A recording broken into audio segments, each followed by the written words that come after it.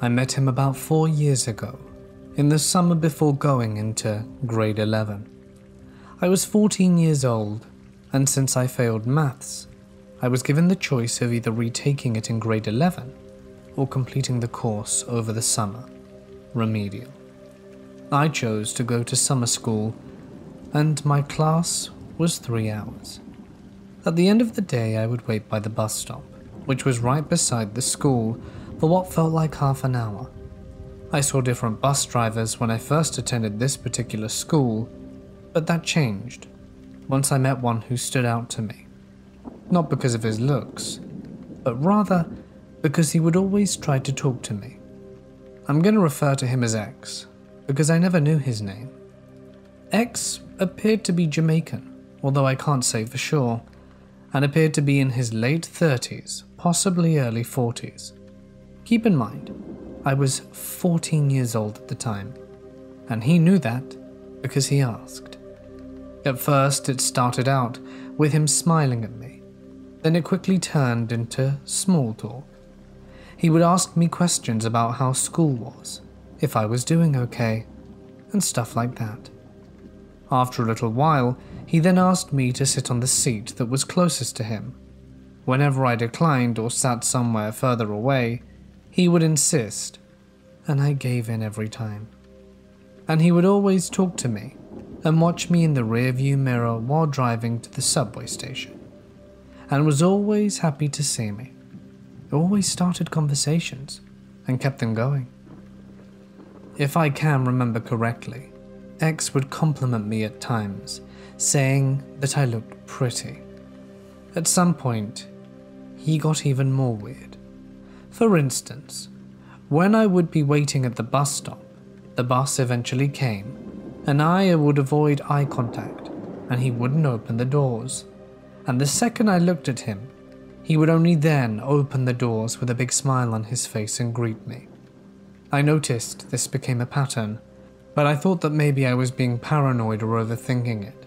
So, over the next few days, I avoided eye contact and looked at the ground on my phone for maybe 10 to 15 seconds and he still wouldn't open the doors until I looked at him. I found that so weird that my best friend at the time would not believe me about this bus driver. So one day I decided to show her what was happening, and she was pretty shocked. She told me to stay away from him, but I couldn't since the other bus would take so long to come between 45 minutes to an hour. This continued for the rest of summer school and I hoped to never see him after my course was over. Of course, unfortunately, I ran into X while I was a little older, about 15. I was in the side of the subway that goes southbound, and there he was, now working as a train operator. At first, I didn't realize it was him, as I tend to forget faces. But the moment we locked eyes, he waved at me and smiled. Immediately, it came back to me. I knew who he was, and he started trying to talk to me. Hey, how are you? Haven't seen you in a while. I was rather awkward and said, I'm good, with a polite smile, and thankfully we went our separate ways. Even though our conversation was cut short, he made me feel uncomfortable and still gave me creeper vibes. I ran into him once again a few months later. I was on the northbound side and the train had stopped and was out of service. There was a man who was walking in the train to make sure no one was there. I forgot what X looked like, so I didn't recognize him at first, but I did once he saw me, and that huge grin plastered on his face. He mouthed, Hey! since the doors were closed and I couldn't really hear him nor he me. I waved and am very awkward and mouth hi back. He asks, How am I? To which I reply I'm good, and then proceeds to ask me something which I couldn't make out. So naturally I looked confused. He grabbed his phone and mouthed, Can I have your number? I said, No, sorry. Please, he went, and does a praying hand gesture. I shook my head and then he smiled, thumbs up, waved goodbye, and carried on walking to the train. I couldn't see him anymore, and I thought that was the end, but I was wrong. He came back to where I was again, made a heart with his hands, and then blew me a kiss and walked away, and returned two seconds later to blow me another one. I was pretty shaken up about it. I may not remember his face, but I will always recognize that smile and the way he goes, Hey! So to the creepy bus driver and now train operator who asked an underage girl for her number and blew her kisses on the subway, please realize you are incredibly inappropriate and let's never meet again. In college, I wait for my roommate to get off work at the new parking garage my campus built. He was a security guard on the night shift. Nothing too crazy most of the time, but one day he finished his shift and I told him I'd meet him outside.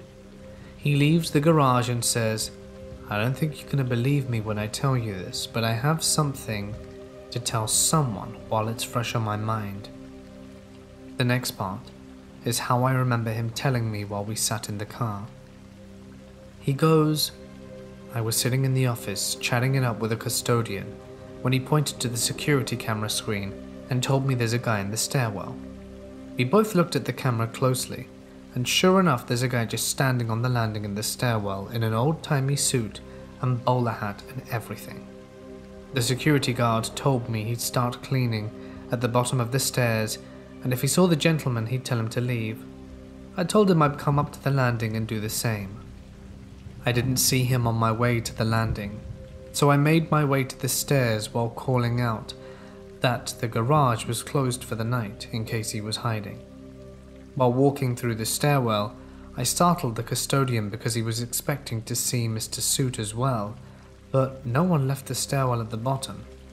I told him I had to check out the rest of the grounds and that maybe he slipped out another way, even though there was no real way either of us could have missed him. I'm approaching the ramp of the next last landing on the top of the garage and I see an older woman in an old timey dress and umbrella. She's going up the ramp in the distance, and I yell at her that she shouldn't be up here and swiftly pick up the pace before I lose sight of her going to the top level. As soon as I arrive to the ramp she was ascending, I don't see her. I got to the top of the ramp and see a kid skateboarding on the last level of the garage. I tell him the garage is closed and he shouldn't be up here, but at the same time wondering where the woman went. The skateboarder apologized and said he'd walk down with me if that would be okay. We got to the bottom and I say, Hey man, you see anything weird at this garage tonight? The skateboarder looked at me with the most confusing stare and said, Well, there was this older woman standing at the edge of the garage, and I didn't see her come up the ramp. I screamed at her to tell her she should be careful and not get too close to the edge. I went to pick up my board, and when I looked, she was gone. I ran to the edge to see if she jumped, but nothing. She was gone. She was wearing this old looking dress and an umbrella. I didn't want to tell the kid I saw the exact same woman because I was too freaked out. I suggested that it was probably a costume party and some people were messing around. I couldn't explain the disappearances though. He said he thought the same thing, but he remembers his boss telling him that years ago 20s era people would dress up in their Sunday duds and walk through the park in town. The park was right where this parking garage was. I often go out on night walks, at least once a week.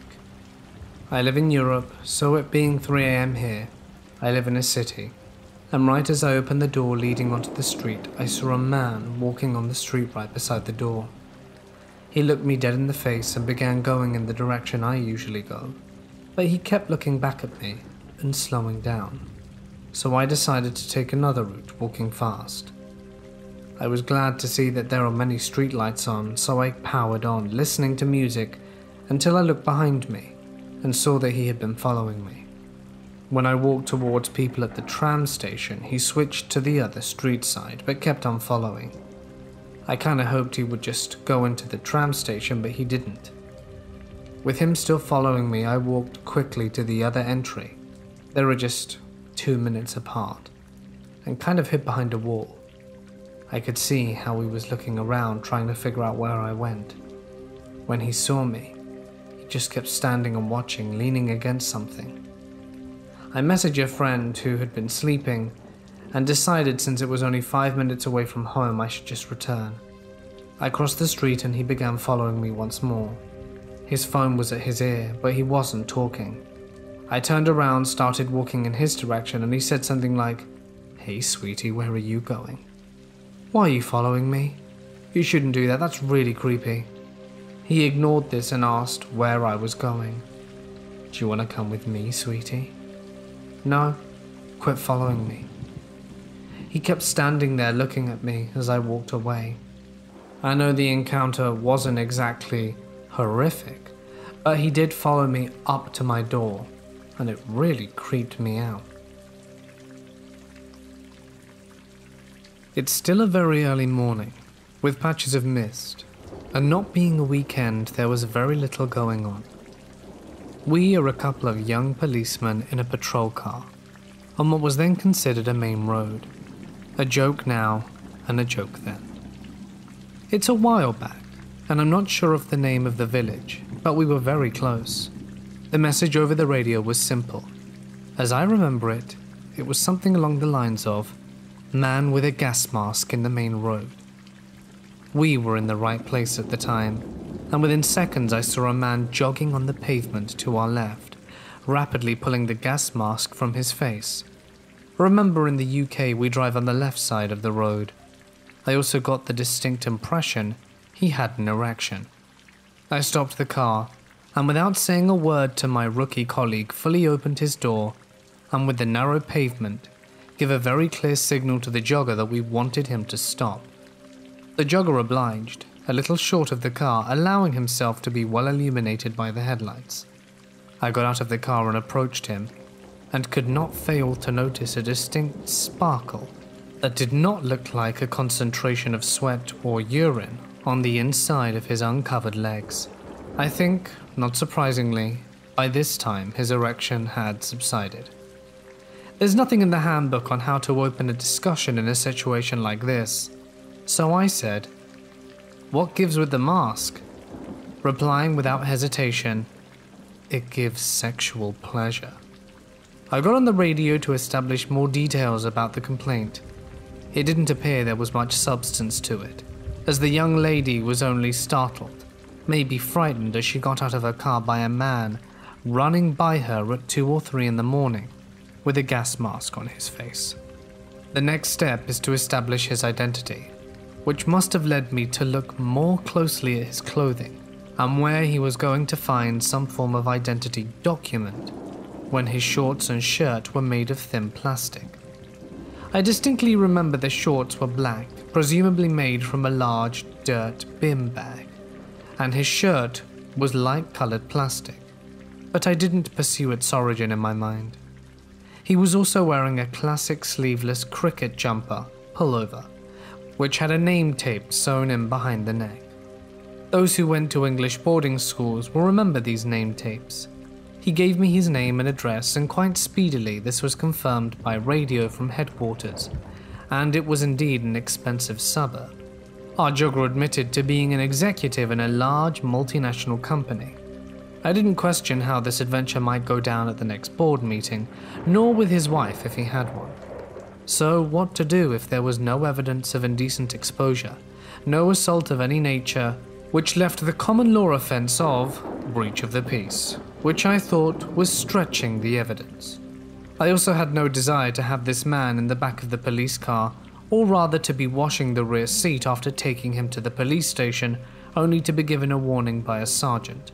So I explained that the young lady could have had grounds to make a formal complaint, resulting in a charge of breach of the peace. Ah, he said. That sounds like the army conduct prejudicial to good order.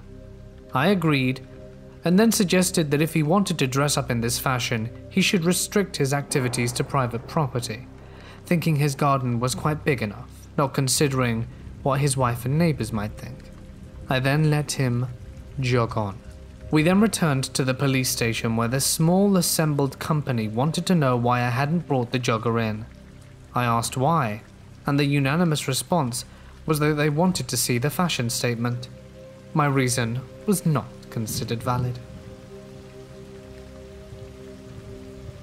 I'm a security guard and work graveyard shift for a federal contractor in an office building in the Washington, D.C. area, and have been at this site for about two months. The building is very secure. You need to get a key card in order to get in, as well as to move around the building. Well, today when I show up to work, the guard I'm relieving tells me that he got a prank call slash death threat over the phone. I told him to shut up and go home, that he was serious and had a report written up and everything. So the other guard tells me that he got a call around 7:20 from someone saying they were in the building in a weird scream voice. He just hung up on them, but they called back a few minutes later and do the same thing, saying, "Come find me. I'm on the 7th floor." And that they would cut him and do all kinds of stuff in that same weird voice. Well, we have to do our hourly patrols between 6 pm and 6 am. But he didn't do any of his because he was too freaked out, and I don't blame him. So I asked him if he didn't mind staying a little longer to do the patrol with me. We do the whole thing pretty thoroughly and don't see anything. So he goes home. It's now 11:15 p.m. I'm sitting at the desk after completing my second patrol and am a little freaked out myself. That's when I get a phone call. Immediately I start freaking out because it's from a restricted number and the only people that really dial this number are our main office and people from the company we contract for. I pick up the phone and this strange sort of wheezing voice starts saying, What floor are you on? My hands are shaking and I'm basically freezing and don't move or say anything. After asking me the same question several more times, they hang up and I call my supervisor, the building security manager, and our dispatch. The weirdest part is that the person obviously has knowledge of the building because they called right when I finished my patrol asking what floor I was on, and they told the other guard they were on the seventh, i.e., the top floor. Even though I know there's a high chance this is just a prank call from one of our old guards, there's still a slight chance that there's an actual insane person in the building, and I have never been so scared in all my life as to when I heard that voice. That night managed to be one of the longest in my life, but it got weirder. After about six hours had passed, nothing had happened, and I started to feel pretty normal, not 100%, but not cowering in fear either. I heard a noise at the front door of the lobby. The lobby is shaped like a triangle with a front desk and guard station at the base of the triangle and the whole right side is a big window with the front doors at the far end of that side. I instantly turn off the speakers to the computer and freeze. I don't move for about a minute and roll my chair over to the camera monitors. The display has 9 camera feeds and switches to the other 9 camera feeds every few seconds, so I'm frantically trying to find the ones that correspond to the front door. Now there are some employees that start showing up between 5 and 6, but they all have key cards so they come up from the garage through the elevator and no one has ever tried to do this during the graveyard shift. After what I felt like was an eternity, but was probably only 25 seconds, I find the feed and click on it to maximize, and standing in front of the door facing towards the camera, not into the building, is the figure. He's in a black suit and has a featureless face. I crap you not. My jaw drops and my heart races to the thoughts of Slenderman. I immediately call my supervisor and tell him there's someone outside the building just standing there. He says he's 10 minutes out and he'll pull up in front of the building. After an agonizing 10 minutes of staring at the feed and this guy not going anywhere, my supervisor finally calls me back and tells me to go to the front doors as he'll walk up in case anything gets crazy. Turns out the guy outside was our new guard that no one told us was coming. I didn't know if I wanted to hug the guy or punch him, but I was glad that one of the weirdest nights of my life was finally over.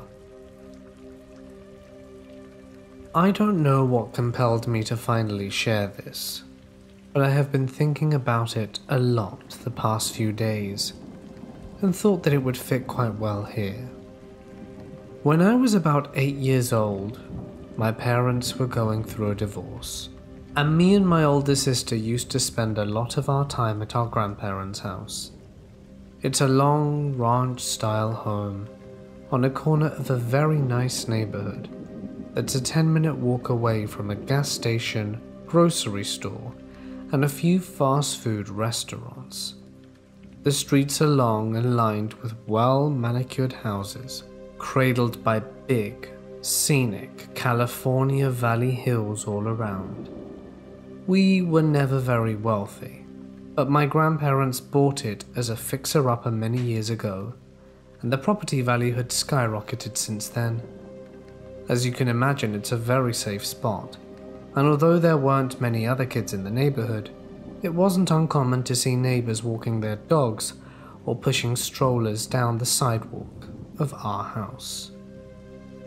Although my mum was especially protective all our lives, this particular neighborhood was densely populated, and my family knew just about everyone who lived there. She grew up in that neighborhood herself, so she was understandably trusting. She would once in a while let me and my sister walk to the Rotten Robbie gas station on the other side of the block to grab a snack. I would always get a ring pop and my sister would grab a Three Musketeer before we made our way back home. My sister was around 11 at the time, and this small amount of freedom was a really big deal to us. Nothing compared to walking down that street all by ourselves in the summertime, laughing and joking around, a few dollar bills in our pocket, and I felt like I owned the world. The one oddity I never noticed around the neighborhood was a small camper parked on the side of the road opposite to the gas station, right along the back side of the fence of another house. It sat there in the shade like a permanent fixture, all the windows constantly covered by opaque beige curtains. I can't explain why, but it always gave me this deep sense of foreboding when I'd pass it. I was almost positive someone was living inside it because at times I'd hear the air conditioning running as it sat stagnant at the same spot. The hairs on my neck would always stand on end as I passed it, particularly as I passed the camper door, and I'd always keep an eye on it for the fear that one day it would swing open, just as I came to pass by. I think what bothered me the most was a drawing taped to the door from the inside. It was extremely messy, a sketch of odd lines in a brown colored pencil that was frustratingly indiscernible. I could see the outline of something, a vague shape, but could never make out what it was intended to be. I never had the nerves to stop and stare long enough at it to really investigate, but each time I walked by, I'd steal a glance. A year prior to the incident I'm about to describe, I was walking to my mum past the camper in the shade. We had just gone to the park nearby, and unfortunately had to pass the camper before we could cross the street and continue walking. I didn't want to seem afraid, so I kept on walking right behind her and didn't object when she walked past it. This time I felt a little more brave. I was frustrated not being able to decipher the drawing for so long, and while my mum was feet away, I stopped in front of the camper door and took a moment to really look at it. Upon closer inspection, the paper was filthy. I remember doing a project in elementary school where we soaked printer paper in black coffee to make it look aged, and that's what it reminded me of. My mum walked on without noticing I'd stopped following her, but my eyes stayed fixed on the indistinct mass of dirt caked scribbles until I could make out what looked to be a tiny malformed face. My stomach turned. I immediately felt cold and disgusted as my eyes trailed over the rest of the image. I didn't know what kind of creature it was at the time, but now I can look back and say that the drawing was a badly deformed fetus inside a mass of large, perfect circles like those made by a circular ring ruler. Its face was concentrated as if in pain. It was so graphically disturbing, and it seemed to portray this odd sense of suffering that stuck with me for days. As a child, I didn't know how to process it, and the mental image still makes me feel sick whenever I think about it. I'd never seen anything like it before. Adrenaline flooded my body and my chest hurt with fear, but I selfishly thought of my glorious little trip for ring pops and said absolutely nothing as I followed behind my mum. This was, in retrospect, a classically terrible idea it's one of those things you scream at main characters in movies for doing. Ever since my ill feelings towards that camper had been elevated by the drawing on the door, I thought about it every time we drove by. And about a month later, my mum once again graced us with several bucks and permission to walk down to Rotten Robbie and grab our respective snacks. I thought about telling my sister about what I'd seen on the way there but she was older and braver, and I was terrified she'd make me cross the street with her to check it out. It was a bright sunny day, and I told myself with false certainty that nothing was going to happen if I didn't acknowledge it. Maybe it would go away. We walked past the camper, and it was thankfully uneventful. On the walk back, I was feeling more comfortable and was focused on fighting open my candy wrapper while my sister walked alongside me. We passed the camper a second time, but I didn't give it half as much thought as the first.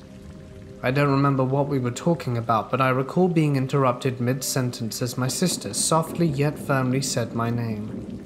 There was a distinct fear in her voice that immediately set me on edge, like a bucket of ice water.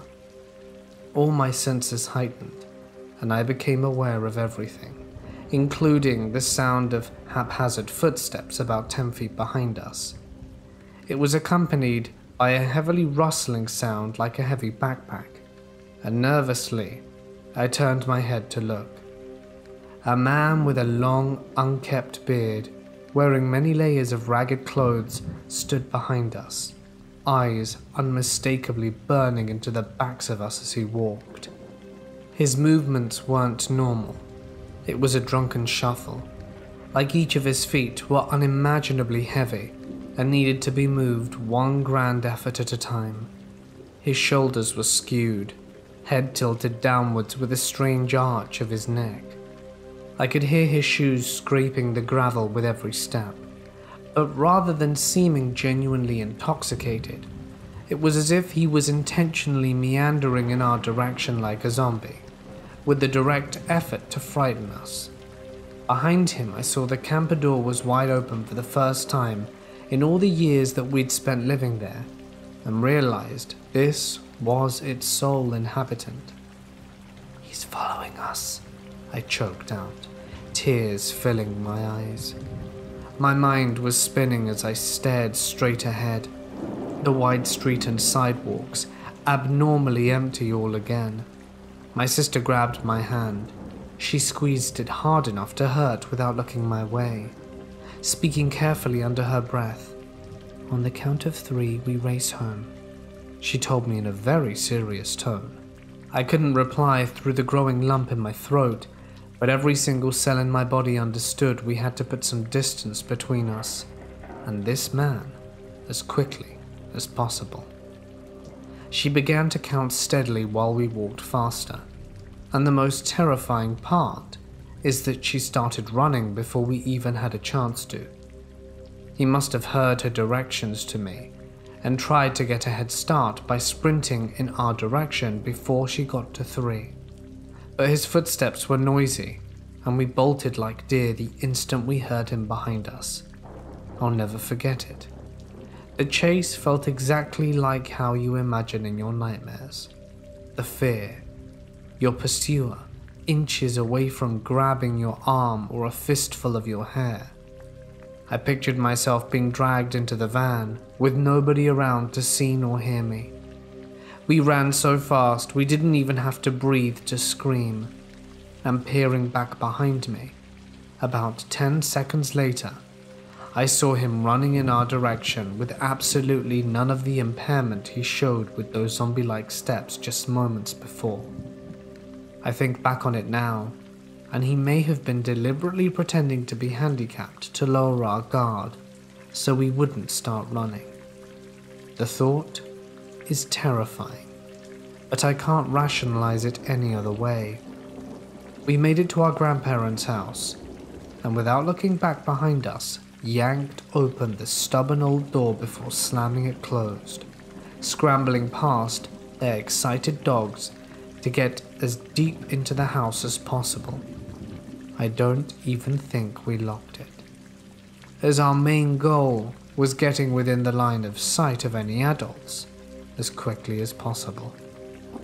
My mum was talking to my grandpa at the table and gave us an amused look when we bound into the living room. Since we were the kids, running around wasn't anything out of the ordinary, and she didn't ask what happened as we collapsed on the couch and tried to catch our breath. The inside of the house felt so safe and felt in such good spirits that I didn't even want to bring up what had just happened. Like waking up from a nightmare you didn't want to talk about. I was desperate to go back to normalcy. I wanted to forget it entirely, to unwrap my candy and act like everything was completely normal for the sake of my own sanity. And that's exactly what I did. I asked my sister a few years back if she remembered this incident. I'm 25 and she's 28, and her response was strange. She remembered immediately without the need for me to prove details, but she quickly waved it off and insisted he had to have been a bored homeless man looking to spook some kids walking home, with no real intent to harm anyone. I don't know. I like to believe it's some innocent misunderstanding. But like they always say about gut feelings, they're rarely wrong. I feel in my soul he wanted to hurt my sister and I that day. I never told her or anyone else about the strange drawing on the door and I'm not sure if my sister saw the open door and connected him to the camper or not. It's one of my biggest regrets, as I would hate for any other children to have been less fortunate after innocently walking past the camper in the shade. I believe he may have chosen the spot between the park and gas station deliberately, due to the number of children walking around the area. I never saw the camper again after that day. I'm not proud of how I handled this, and would encourage anyone who finds themselves in a similar situation to contact authorities immediately for the safety of others around. I don't know if this whole story comes off as melodramatic, but it was very real and very frightening in a way I can't ever forget. This happened a few weeks ago in a large city on the west coast. I'm a female in my mid 20s and we're visiting a friend who'd been struggling recently with racism in the US and COVID isolation. Due to his aggravated anxiety, he often wasn't sleeping at night, so he took a lot of very necessary naps during the day, often three to four hours at a time. It was getting late during one of his naps, so I ordered food delivery for our dinner. With the delivery person approaching, I tried to get off the couch with him as silently as possible, put my sneakers and mask on and walked out the door.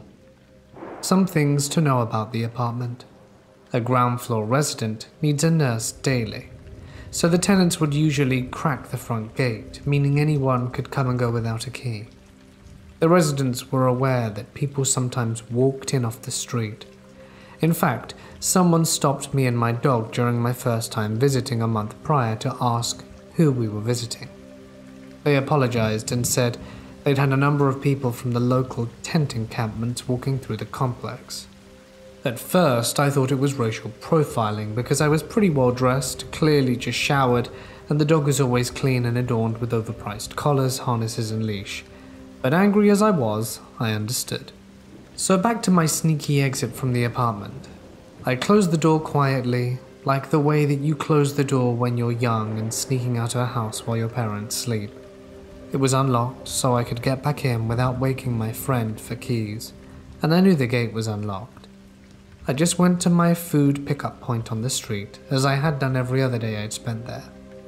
As soon as I'd finished closing the front door, I took a few steps towards the hallway stairs and locked eyes with a tall man who I didn't recognize from any of the five apartments. He was five stairs down from the next landing. We both stopped what we were doing, and it felt like minutes passed as we stared at each other. Then I went through a mental checklist in my head to evaluate the situation.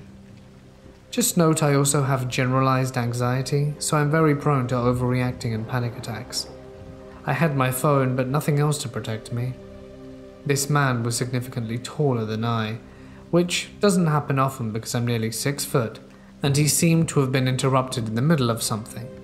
Immediately, he shifted his hands when he saw me. I knew I had enough time to go back in the door, because thankfully I hadn't locked it.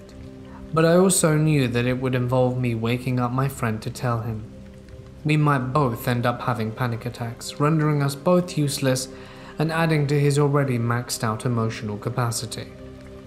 Out of fear of angering this rando in the hall, I didn't want to give off the impression that I'd profiled him like I'd just recently experienced, even though he was clearly out of place, and I didn't want to anger a junkie trying to get his fix. Plus, coming from a city with a large homeless population, I knew how detrimentally an emergency call would be for a large, black, seemingly homeless man. So, what did I decide to do? Maybe the dumbest thing I've ever done. Oh, hey, almost didn't see you there, I said. The guy responds back, Are you partying? He said it eagerly, but he had a sinister, or perhaps opportunistic, off putting tone. And he looked me up and down, either to undress me with his eyes or size me up. But either way was a chilling stare nonetheless.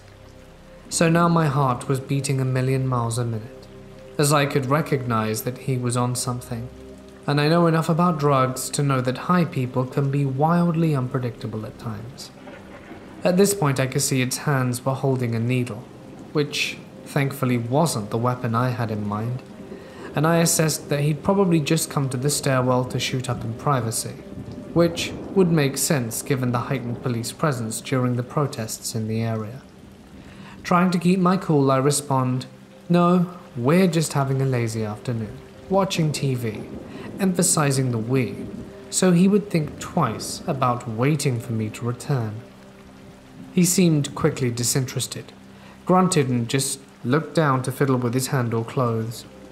At this point, I recognized that I hadn't moved from my awkward oh crap position, so I stood a little taller and tried to make my body language convey friendly, but also don't mess with me with all of my internal alarms ringing in my head, screaming, Oh my gosh.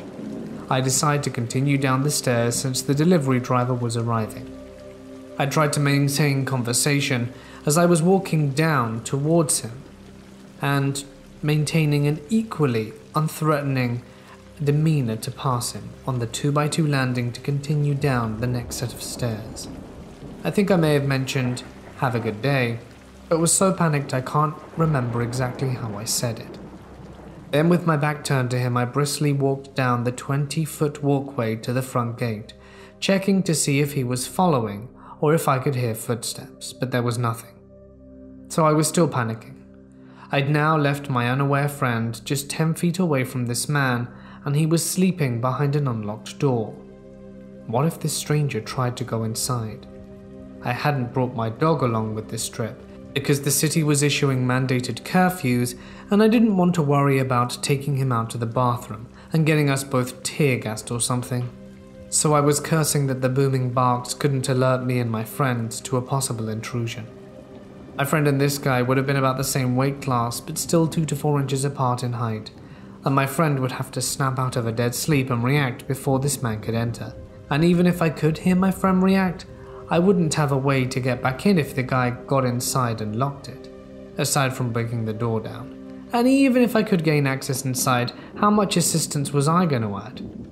I would have had to make a massive scene to alert the neighbors, and bide us enough time while 911 responds.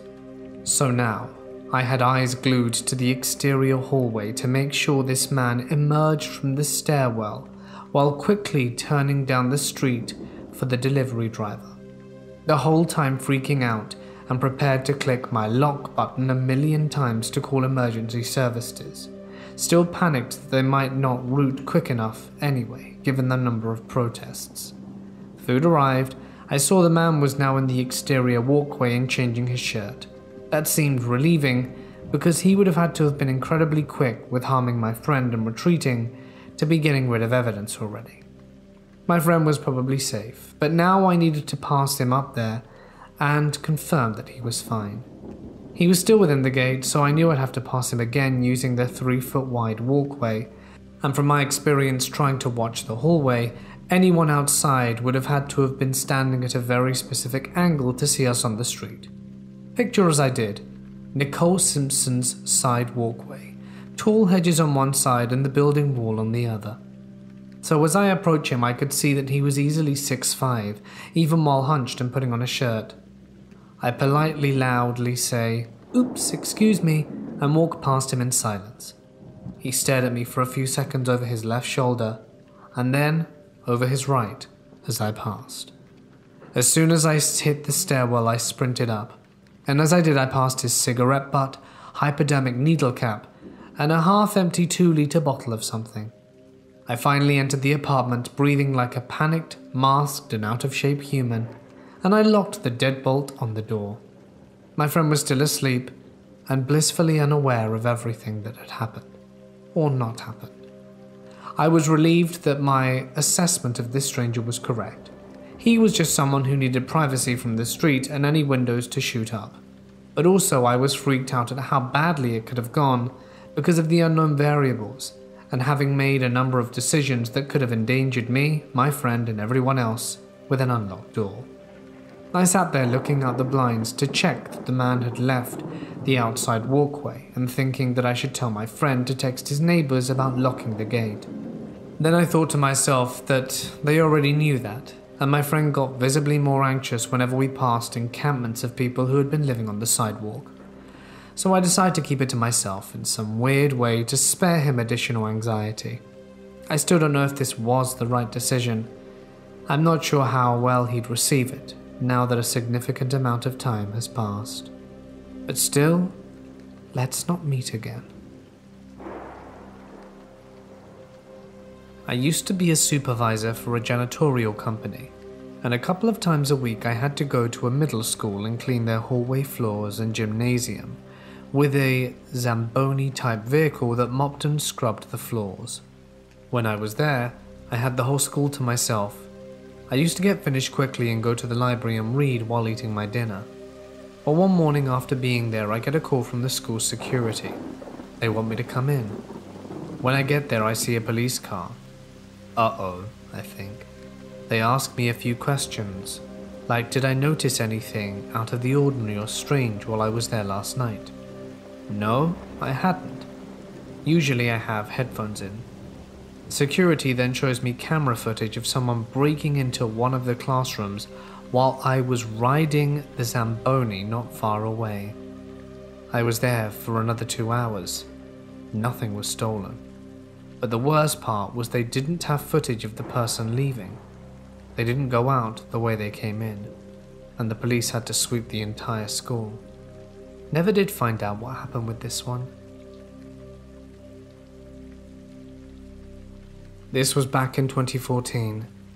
I had moved off campus into a really nice part of town. I was in junior college, and this was my first time living on my own. Campus was only two miles away, and I would often walk back home from campus. I would take the bus or catch a ride with a friend to campus. I walked home because my schedule ending never quite matched up with the bus schedule, and my friend finished two hours before my daily schedule did. I was used to walking the two miles to my apartment. I never thought anything of it, because I walked right through the busy area of town, along the second main road, so there were always people around. My apartment was actually a stone's throw away from the most popular frozen custard shop in the area. Every night, the parking lot would be packed. I'm walking home as usual, get to the frozen custard shop, and notice there's a lot of people tonight. It was just something I've always noticed and paid attention to.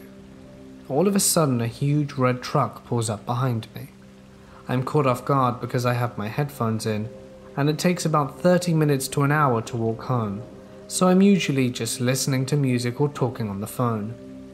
I stop to take my headphones out to look at the truck. This man is dressed like a country singer and sitting in the driver's seat. He looks at me and asks me where the mall is, and I point him in the direction of it. He says, I've been down that way. I'm a photographer, and I'm supposed to be doing a photo shoot at a bar behind the mall. I've lived in this town going on three years now, and I know where all the bars are located. It makes it easy when they're on the same street. I explained to him there are no bars by the mall, they're all on Philly Street, and he continued to insist there is a bar behind the mall. All of a sudden, he just changes. He looks at me and asks me to step back, so I did. He looked me over and asked me how tall I was. I told him five seven. He asked me, I'm doing a photo shoot, would you like to be a model for it? I told him I don't like getting my photos taken, and he insisted, telling me I was beautiful and I would look great. I told him my mum and brother are photographers and have tried to get me to model for them, and I don't like having my photo taken. Almost like he's given up on the tacting, he moves to another, then asks me where I live. I told him not far, but he wanted more info. I pointed in the vague vicinity of my apartment, making a point, not to an actual point at all. This dude then asks me if I want a ride. I told him, no, it's not far, I'll be fine. He kept insisting I let him give me a ride home, and I kept telling him no, stepping further away from the truck. He then out of nowhere asked me how he would get to the mall, and I told him to take the road down. Go down the road, turn left, the more will be on your left. He thanked me and began driving off, and I walked slowly to my apartment. I watched his truck get to the light, and instead of turning like I told him, he went straight. Going straight leads into a small residential area that you need to know this town well enough to get through. I lived in that town from 2012 to 2017, and still can't figure my way through there.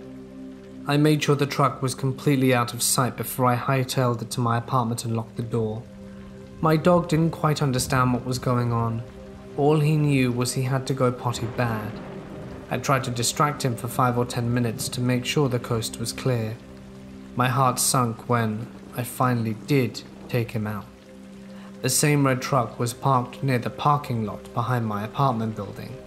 The truck didn't belong there, I'm one that memorizes all the vehicles that are normal for the area, and no one had a red truck like that one. I went back in and texted people describing the man and the truck to them in case something happened to me, and I did not go back out for hours. When I did, the truck was gone. Never saw the man nor the truck again. So, to the guy who wanted to take me in front of the most popular venue in town on my way home, let's never meet. I work night shifts at a nursing home.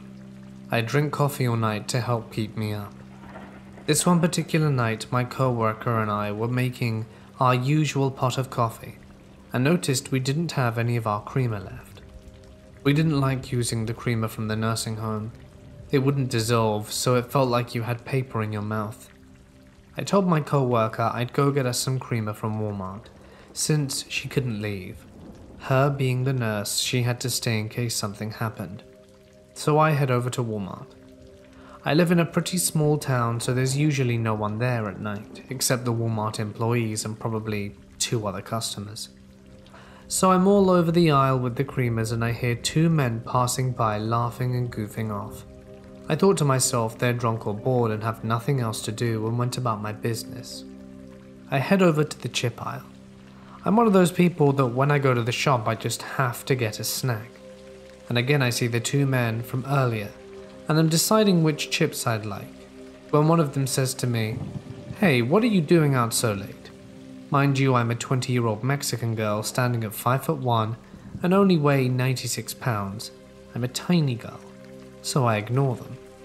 I didn't feel like I was being messed with and didn't have any coffee yet, so I was a little grumpy.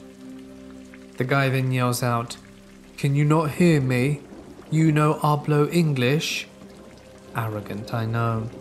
I roll my eyes, grab a bag of chips, and leave, and then I see them trailing behind me. But I'm on my way to the self checkout, so I figured they were going to leave the store. Before I go to the self checkout, I remembered I needed some more wipes for my baby. So I headed over to the other end of the store to the baby aisle and noticed the two men still following and giggling. At this point, I'm annoyed and also a little scared, so I rush to the self checkout. As I rang up my stuff, I noticed the two men went to sit at the benches by the doors, not buying anything, just sitting there looking at me and giggling. I'm very uncomfortable at this point and look around for a Walmart employee to walk me out to my car and make sure they didn't try anything. Luckily, the night manager was passing by just as I was getting ready to leave, and I asked him if he could walk me to my car. I tried to tell him about the men, but when I looked over at the bench, they were gone. We both thought they probably just left. He walked me to my car to make sure I went home safely. I thanked him, locked my door, and called my co worker to tell her what happened. Thinking it was over, I returned to work.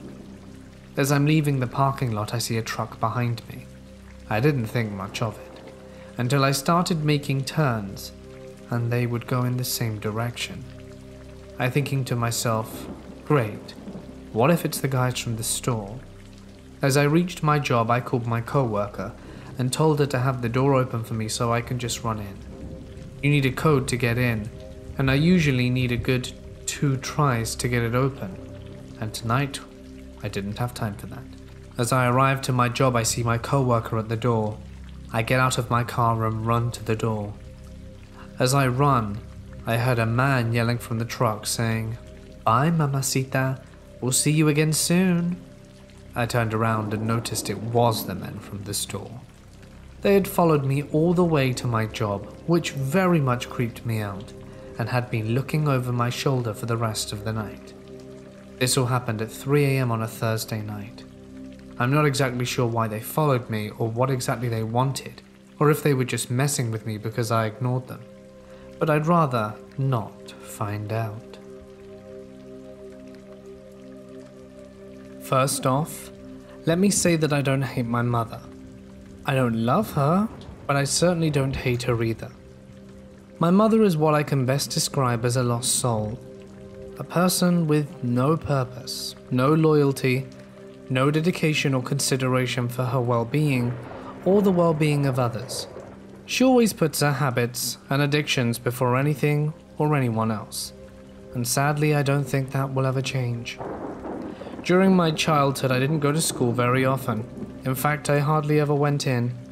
It got so bad I really fell far behind my classmates, only catching up with my peers when I went to college, something my mum just patronized me about and called me a waste of time for. She never was the most supportive or kindest of people. But anyway, on to the story. When I was around nine, my mum's habits started to get really bad. It all started when she met this man, Chris, he was stocky, just above average height, and grey hair and a grey beard, despite being only in his early 40s. Let me give you a mental image of Chris. This guy was hard spoken, and always stared at me and my siblings intently, but it wasn't a kind of concern, watching of a parent guardian being vigilant. It was an icy cold, piercing kind of look that petrified us and sent shivers down our spines. It seemed like he hated us, which I remember thinking was strange at the time because all I ever did was be polite and obedient in fear of what he may do. My mum started having Chris over more and more, always forcing us upstairs and out of the way. If we dared venturing downstairs for even basic essentials like food or water, we'd be thrown, and that's no exaggeration. She would take us by the arms and fling us full force back into our rooms and lock the door, which she had put a lock on from the outside for some reason.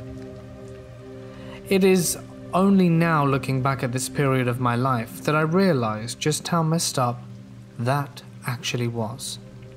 She and Chris would party for days at a time, and I really do mean days.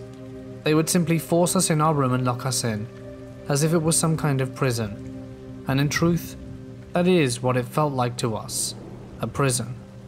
We had no food, no water, we had nothing.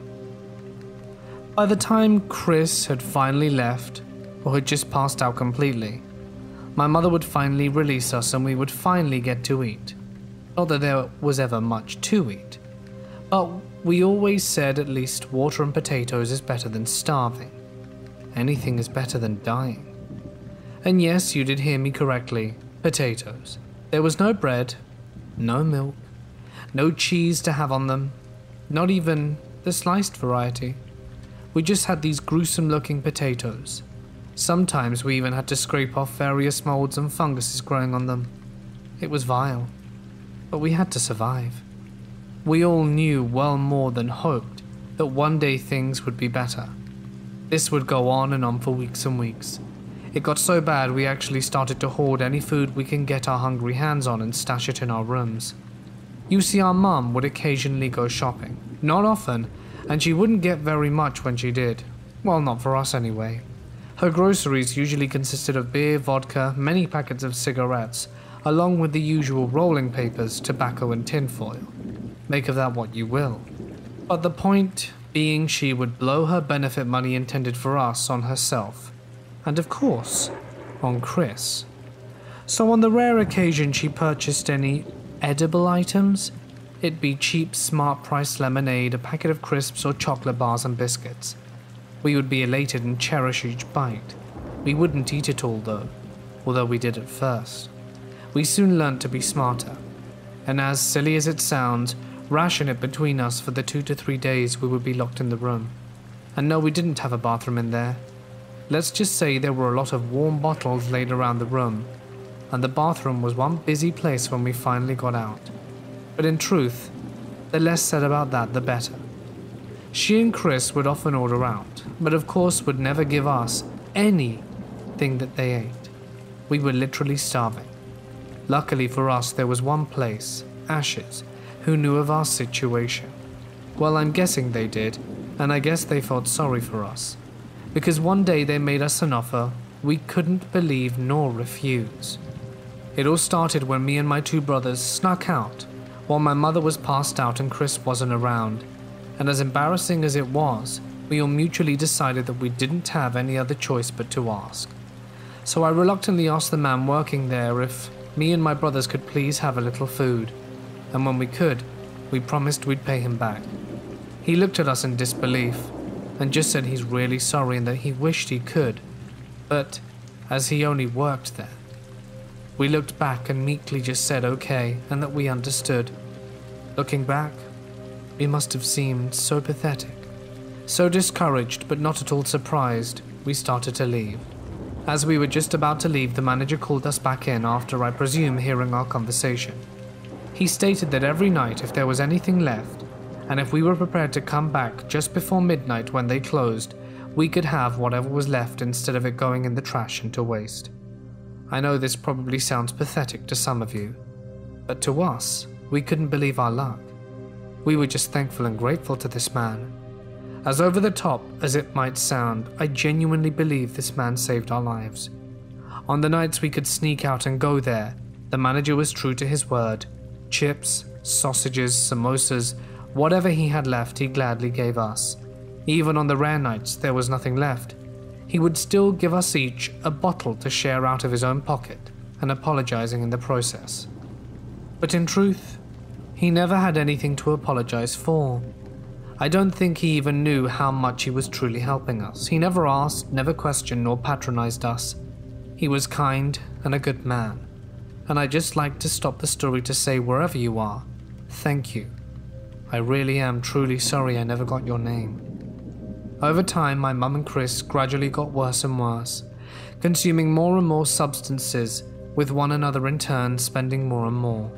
Money we really didn't have. They were both unemployed, and any money supposed to look after us, they certainly didn't use in that regard.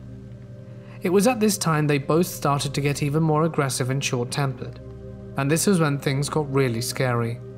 Chris became more physical with us and would force us and lock us in the room on my mother's command, or when he felt as though we had angered or disrespected him, when all we really did was play or speak too loudly in his eyes. This continued on and on for some time until eventually things escalated dramatically. My mum and Chris started to fight more, but not just fight. They would scream, throw things, and it honestly sounded like a war zone down there. But thanks to the awful place we lived in and the horrible individuals who inhabited it, the police were never called. If I'm honest with myself, even if they were, I don't believe they would have or could have done anything.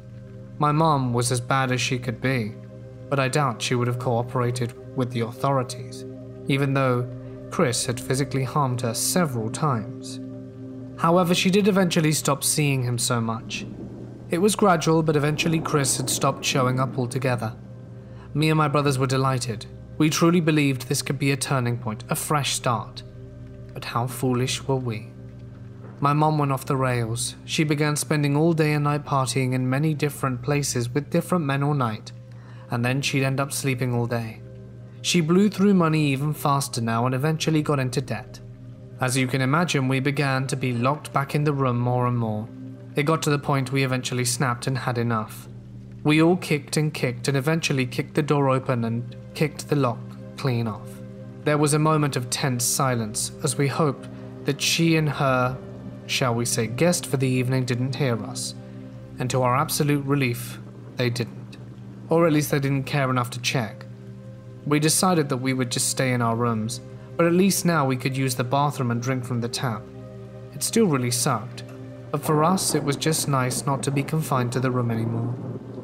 Fast forward a few weeks and Chris is back. He's round again, and we all knew it was only because he was lending her money to pay off her debts and enable her to use again. But as kids, we could do nothing, only sigh and feel trapped the partying, the long stints in our room, it was all to our dismay. But unfortunately, or fortunately, depending on how you look at it, this time it was only short lived. With the constant partying came the constant arguments. It got really bad again to the point my mum told Chris to leave, and after some kicking, scratching, and screaming, along with several broken items, including the old box television and the microwave, he eventually did. But not before vowing to return to collect his money and that she better have it or her kids, us, would regret it. An empty threat. Right? Wrong. A few days went by without incident, but then one morning, a Saturday as I recall, my mother received a call. It was Chris. He demanded his money back and that he was coming over. She screamed at him that she didn't have it, but he told her in a sharp, loud tone she better get it or else. Thankfully, my mum puts her phone on speaker so we're all terrified, but at least we knew what was happening. I just remember my mum pausing for a minute and then softly said, Okay, Chris, fine. Come over. Callum will give it to you. And upon hearing this, my blood ran cold. I didn't have his money. I didn't have any money. Not a penny. What could I do? She then abruptly hung up. She crouched down slightly to be eye level with me and, in a matter of fact, simply told me that Chris is coming over, and as he had a key, he'd let himself in. Just please tell him I didn't have his money, but I was ironing earlier, and, as it was hot, decided to iron in the garden, and I had the money on the ironing board to keep it safe. But a big gust of wind came and blew it away. I tried to chase it, but I couldn't find any of it, and so that we're sorry. So please just tell him that, is what she asked me. And then she left. She left us all alone with an angry addict coming over. An angry addict who wanted his money and wanted it right now. And all that she had left to defend us with was this tall tale. This lie so absurd and poorly constructed, me and my brothers couldn't even believe it. Several minutes went by, and me and my brothers just huddled in the front room, not knowing what to do. We were so terrified it honestly felt like time stood still. It felt as if we were just standing there waiting for something to happen for hours, but truthfully, it couldn't have been more than 10 minutes. Suddenly, the front door flung open forcefully, and we all instantly knew it was Chris. He barged into the room and demanded to know where our mother was hiding and where his money was. This guy was terrifying, big, angry, and he honestly looked wild. He was sweating profusely, his eyes wide, and he looked furious. He truly looked insane, like he wanted to hurt us. My brothers and I just stood there, frozen in fear.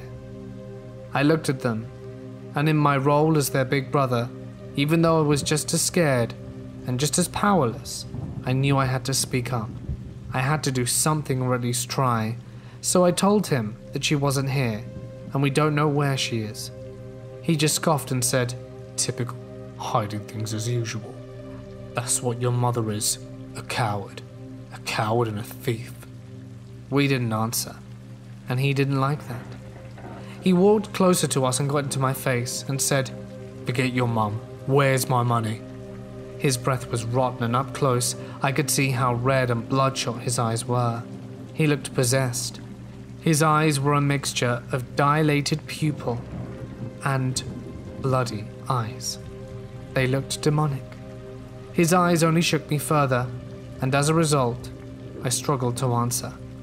I, I don't know, I finally managed to blurt out. None of us do. He snarled, called me a liar, and demanded that I tell him, and that my mum better have his money, so I better talk now, or else. I really don't. I honestly, I begged him. I just wanted him to leave. I just wanted me and my brothers to be safe, but of course he didn't believe me. He inched closer to me and spat in my face. I was at the brink of tears at this point, and my brothers just looked in horror, frozen in place, tears forming in their eyes. I really don't know, my mum said she lost it while ironing in the wind, I replied. Stupid, I know, but I was scared and desperate, and at the same time, it's all my mouth could form. He really didn't like that. He grabbed me by the shirt and lifted me off the ground. Do you think that's funny? Am I joking to you? He screeched into my face. I couldn't. I couldn't even bring myself to answer nor look at him. I was just so scared. I just wanted this to be a bad dream and for it all to be over. I wanted him to go away and leave us alone. Look at me. Am I joking? He screamed. No, I'm sorry. I don't know where the money is. I don't know where my mum is. I don't know anything. Please just let me go. No. But mark my words. If I don't get my money, I'll be back. And I'll end you. I'll end your brothers. I'll end your mum. I'll end you. All of me and my kids will dance on your grave. And with that, he left. No violence, no termination, just three terrified kids. I know to other stories this might seem relatively tame, but it shook me to my very core. It traumatized me for quite some time, to be honest. My mum would return home some days later without explanation or even the smallest hint of interest or concern as to what transpired while she was away. All that despite the fact she had, in my eyes, and my brother's, left us for dead. That may be dramatic, but she left these young children to defend off a clearly very unstable addict, and for that I cannot forgive her. Me and my brothers went to live with my aunt after this, and thankfully we began to see her less and less. She actually ended up getting back with Chris. I know, typical, right? You can believe that. So that whole terrifying ordeal ended up being for absolutely nothing. Thanks, Mum. So although I don't hate you, please, Mum and Chris, let's never, ever meet again. When I was about 12, I was at the mall with my parents during the holidays, shopping. I had gotten a walkie talkie set and was really stoked on them and for some reason I brought it to the mall with us. My parents were doing some Christmas shopping in a big box sports goods store, and I was bored out my mind, so I asked if I could wander around the mall and could use the walkie talkies to let them know when they were ready to go. This was over a decade ago, so I don't remember what led up to this or why I announced my presence. Was listening to various channels, nor do I remember exactly how the conversation went, but it was something like this. A male with a distinctly creepy sounding voice asked me where I was. I stupidly told him I was at the mall, even though alarm bells were going off in my head. He kept trying to get me to tell him where in the mall, and that I should come to a certain section. After a minute of this interaction, I finally had the sense to cease communication and nope out of there fast, back to the boring sports store to the safety of my parents. I told my parents, but since there wasn't any way to identify the man, or what his intentions were, nothing could be done about it. I think it's scary to think about, and I'm glad nothing happened. I hope to God that man never managed to take, or get anyone to come to him, ever.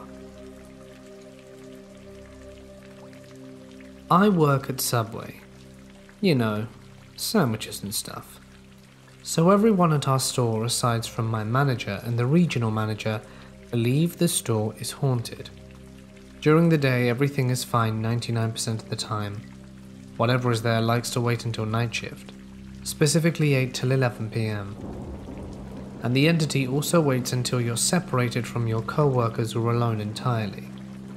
The only known time it's been active during the day is one time when the assistant manager was alone in the store and panning up bread on a holiday so it would be unswathed for the next day.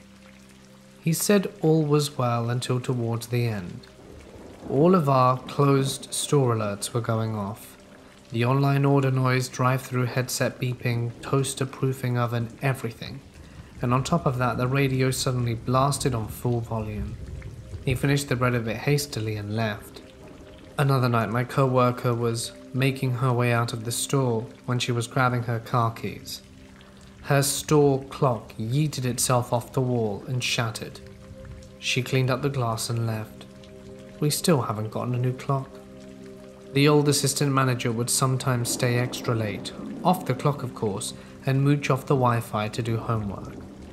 He said he always heard footsteps shuffling and equipment moving around in the back. And my one only experience isn't very special. It was after closing, doors locked, and my coworker was cleaning the bathrooms and I was finishing the dishes. I was putting away a few on a high shelf and heard someone clear their throat behind me. It scared the crap out of me and I ended up dropping the bowls. I turned around and said, Screw you, before I could comprehend there was no one really to say it to. The rest of the night I was hella uncomfortable. That is kind of it. I still work there, don't do nights much anymore.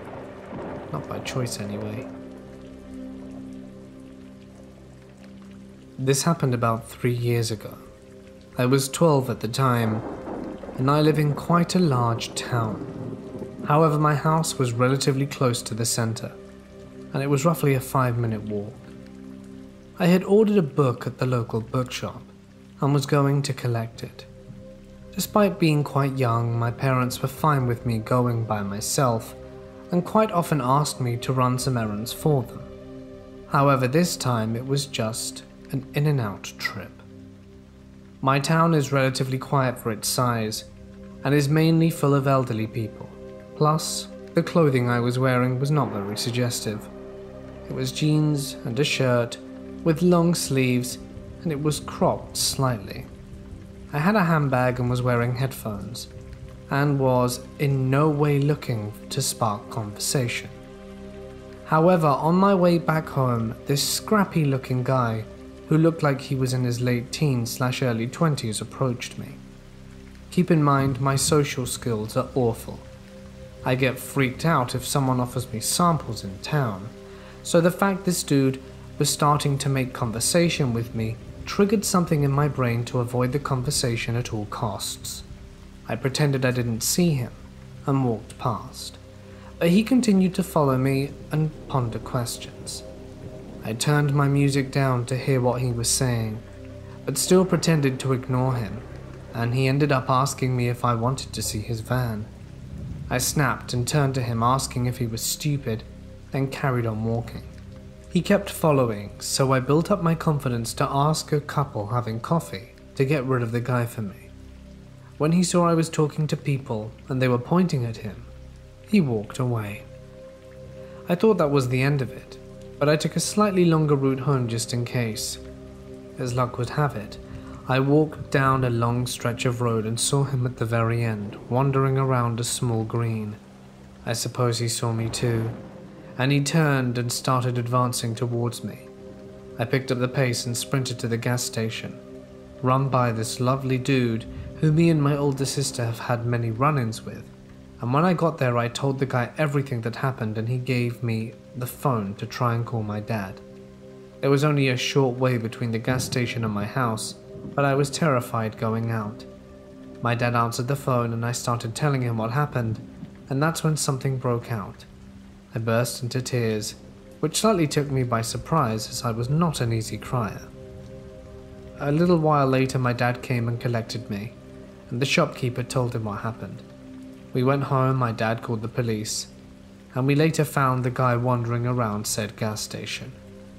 I hate to think what would have happened if anything had happened differently, and I hope to never see him again.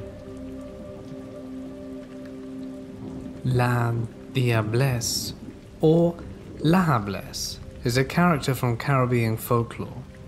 It's a human woman, usually having an attractive body and clothing, but with a hideous face, which she keeps hidden. She has one human foot and one cow hoof. She lures males into the forest so they can get lost and never find their way back, and they end up dying or being eaten by wild animals, or perhaps meet some other gruesome fate. The following story happened in Trinidad in the 80s. My uncle was living in the house I live in presently, it's my grandfather's house that my mother inherited. In those days, it was my grandparents and their eight children. My uncle was one of the older siblings and would work late night shifts and would return home between the hours of 11 pm to 1 pm. Now, my street then wasn't as developed as it is now. There was a lot of bush and forested areas with a few houses scattered in between. My house is about a quarter of a mile in the road and wasn't paved at the time, and more of a track than a road. One night, when my uncle returned home from one of his night shifts, he saw in the distance a woman walking down the street. From the look of her clothing, he assumed it was my senile great grandmother. She had had a few instances where she would wander off and reach far places, so initially my uncle thought it was her. He saw her familiar dress and the white shawl she always had draped over her head and he could make out pieces of tattoos she had on her arm. Now, he thought it was strange.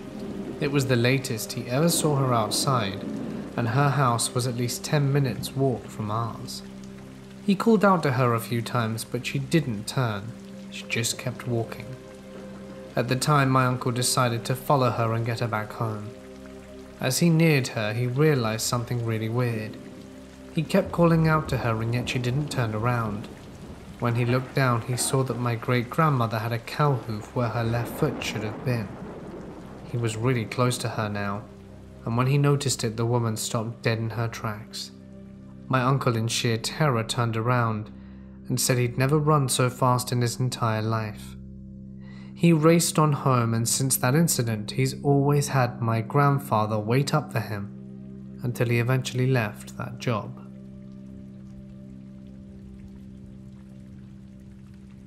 This happened a good 20 plus years ago, and I had forgotten about it until today. I think it's a good reminder that sometimes the most unexpected things can happen when you least expect it. This event really made me feel like I couldn't be safe anywhere, and caused me to be hyper vigilant every time I left my house, and that feeling stayed with me for a long time afterwards. It was wintertime, about 11 in the morning, and I was standing at a bus stop. This bus was in a mini mall, where there was a bigger department store, a dollar store, and another little shop. I was going to catch the bus to my brand new job, and that day was going to be my very first day at the new shop, so I was excited and nervous and definitely wanted to make a good impression. While I waited for the bus, I realized I was a good 15 minutes early, and also had forgotten my gloves, and it was bitterly cold. My hands were freezing, but I only had a few dollars on me, so I figured it would be cheapest to buy new gloves at the dollar store. When I went in, it was quite big, but there were no other people in there yet, besides the older Asian man behind the front counter. He gave me a big smile and came around the corner to stand next to me. I asked him where the gloves were located, and he said, I'll show you. As soon as he said this, he laughingly grabs my left hand with his right one and starts bringing it towards the back of the store. The back of the store had a display table with some things on it, toys, I think. And on the wall behind it was a section with winter items, and just to the right of that, a door that said employees only. Everything happened really fast. When he grabbed my hand and started bringing me towards the back, I kind of awkwardly laughed because he was laughing, and I just thought he was an overly friendly guy who was trying to be helpful. I had also been in this store a few times before, and both times the same guy was there, but he was ringing people up and he was always happy and smiley and laughing with every customer who he interacted with. I never got any weird vibes from him or any other time I was there. So just as we got to the back, out of nowhere, the hand holding mine clamps around my wrist really hard. His other hand reaches over and grabs my chest ridiculously hard, twists it, and starts pushing me towards the employee only door. I could not believe how fast everything changed. I'm so happy I had worn my thick boots that day, because the only thing I could do was kick him in the shin and try to pull away from him. We went back and forth, with me trying to get away from him, while he tried to get a hold of my arm tighter, and while also trying to push me towards the door, while I'm still trying to land kicks. All in this, he lost his balance and fell into the display table, and then I was able to get my arm away, and I just took off running as fast as I could. I ran to the back of the next store, and they had a customer service department where there were other people and there were phones. So, to try and wrap this up, I used the store's phone to call my mum because I didn't know why. I was so confused and wondered if I should call the cops. I was trying to figure out what just happened while also realizing that I missed the bus and was gonna mess up the first day at my new job. Well, I did call the cops, though after I got off the phone with my mum who came to get me. The way I looked at it was like, okay, I was already alright, but what if I hadn't gotten lucky? What if this guy does something to someone else and they don't get away? What if something even worse could happen to someone else or already did? This happened in broad daylight on a weekday morning, so it could happen to anyone. They arrested him and we had to go down to the station to give a statement. About a week later, there's an article in the newspaper that they've arrested five people that own the dollar store because they had apparently been setting up these dollar stores for a few weeks as a front for some shady activity, and then they would close it down, wait a month or two, and go to a different county to open another one. Like I said in the beginning of this, this messed with me for quite a while after that. I don't feel safe when I leave my house. I just wanted to buy a pair of gloves. So creep from the dollar store, let's never meet again. This happened to me over 10 years ago. It's been a long time on my mind. I was never a believer in the paranormal. My parents raised me atheist. My mum, especially, was a very no nonsense kind of woman. Didn't believe in religion, didn't believe in anything. And that's the way me and my family all viewed the world. That is, of course, until the following events transpired, and my worldview started to change.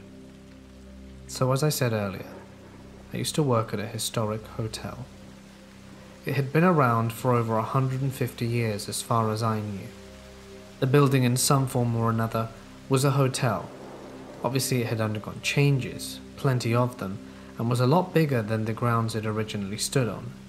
As it had been so successful, it actually consumed much of the surrounding buildings. The hotel itself was quite nice, adorned in the Roaring Twenties style. Even the staff were made to wear old timey clothes, all to add to the authenticity. As contracted night security from a different company, we didn't have to undergo such privileges in regards to our garments. Now, the hotel itself was not that tall, but quite lengthy. It had loads of different rooms and corridors and the like, most of which we could observe via our cameras, and a small section of passages in the basement that were mostly used for housekeeping and laundry and stuff. Anyway, I had been working there a few weeks when I overhear a few of the night watchmen having a chat.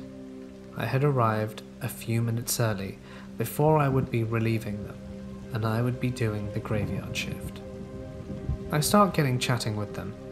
I hadn't really spoken to them much before, and figured it'd be nice to make friends at the job. One of them, Darren, was telling a story about something he'd experienced a number of years ago. He's the kind of guy who, when he got his first job, stuck by it till the bitter end.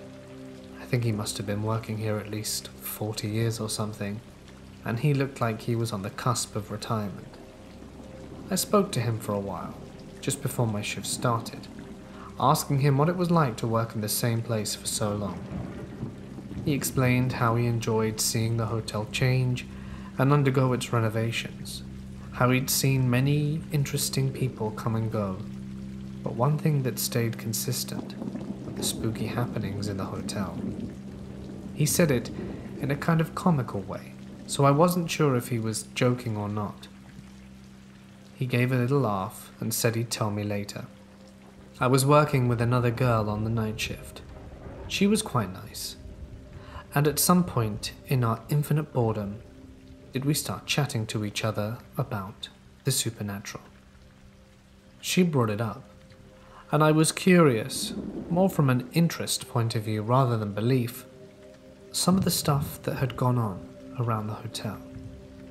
She had been working there a few years now, and it seemed common knowledge that there was something afoot in the hotel that most people couldn't explain away.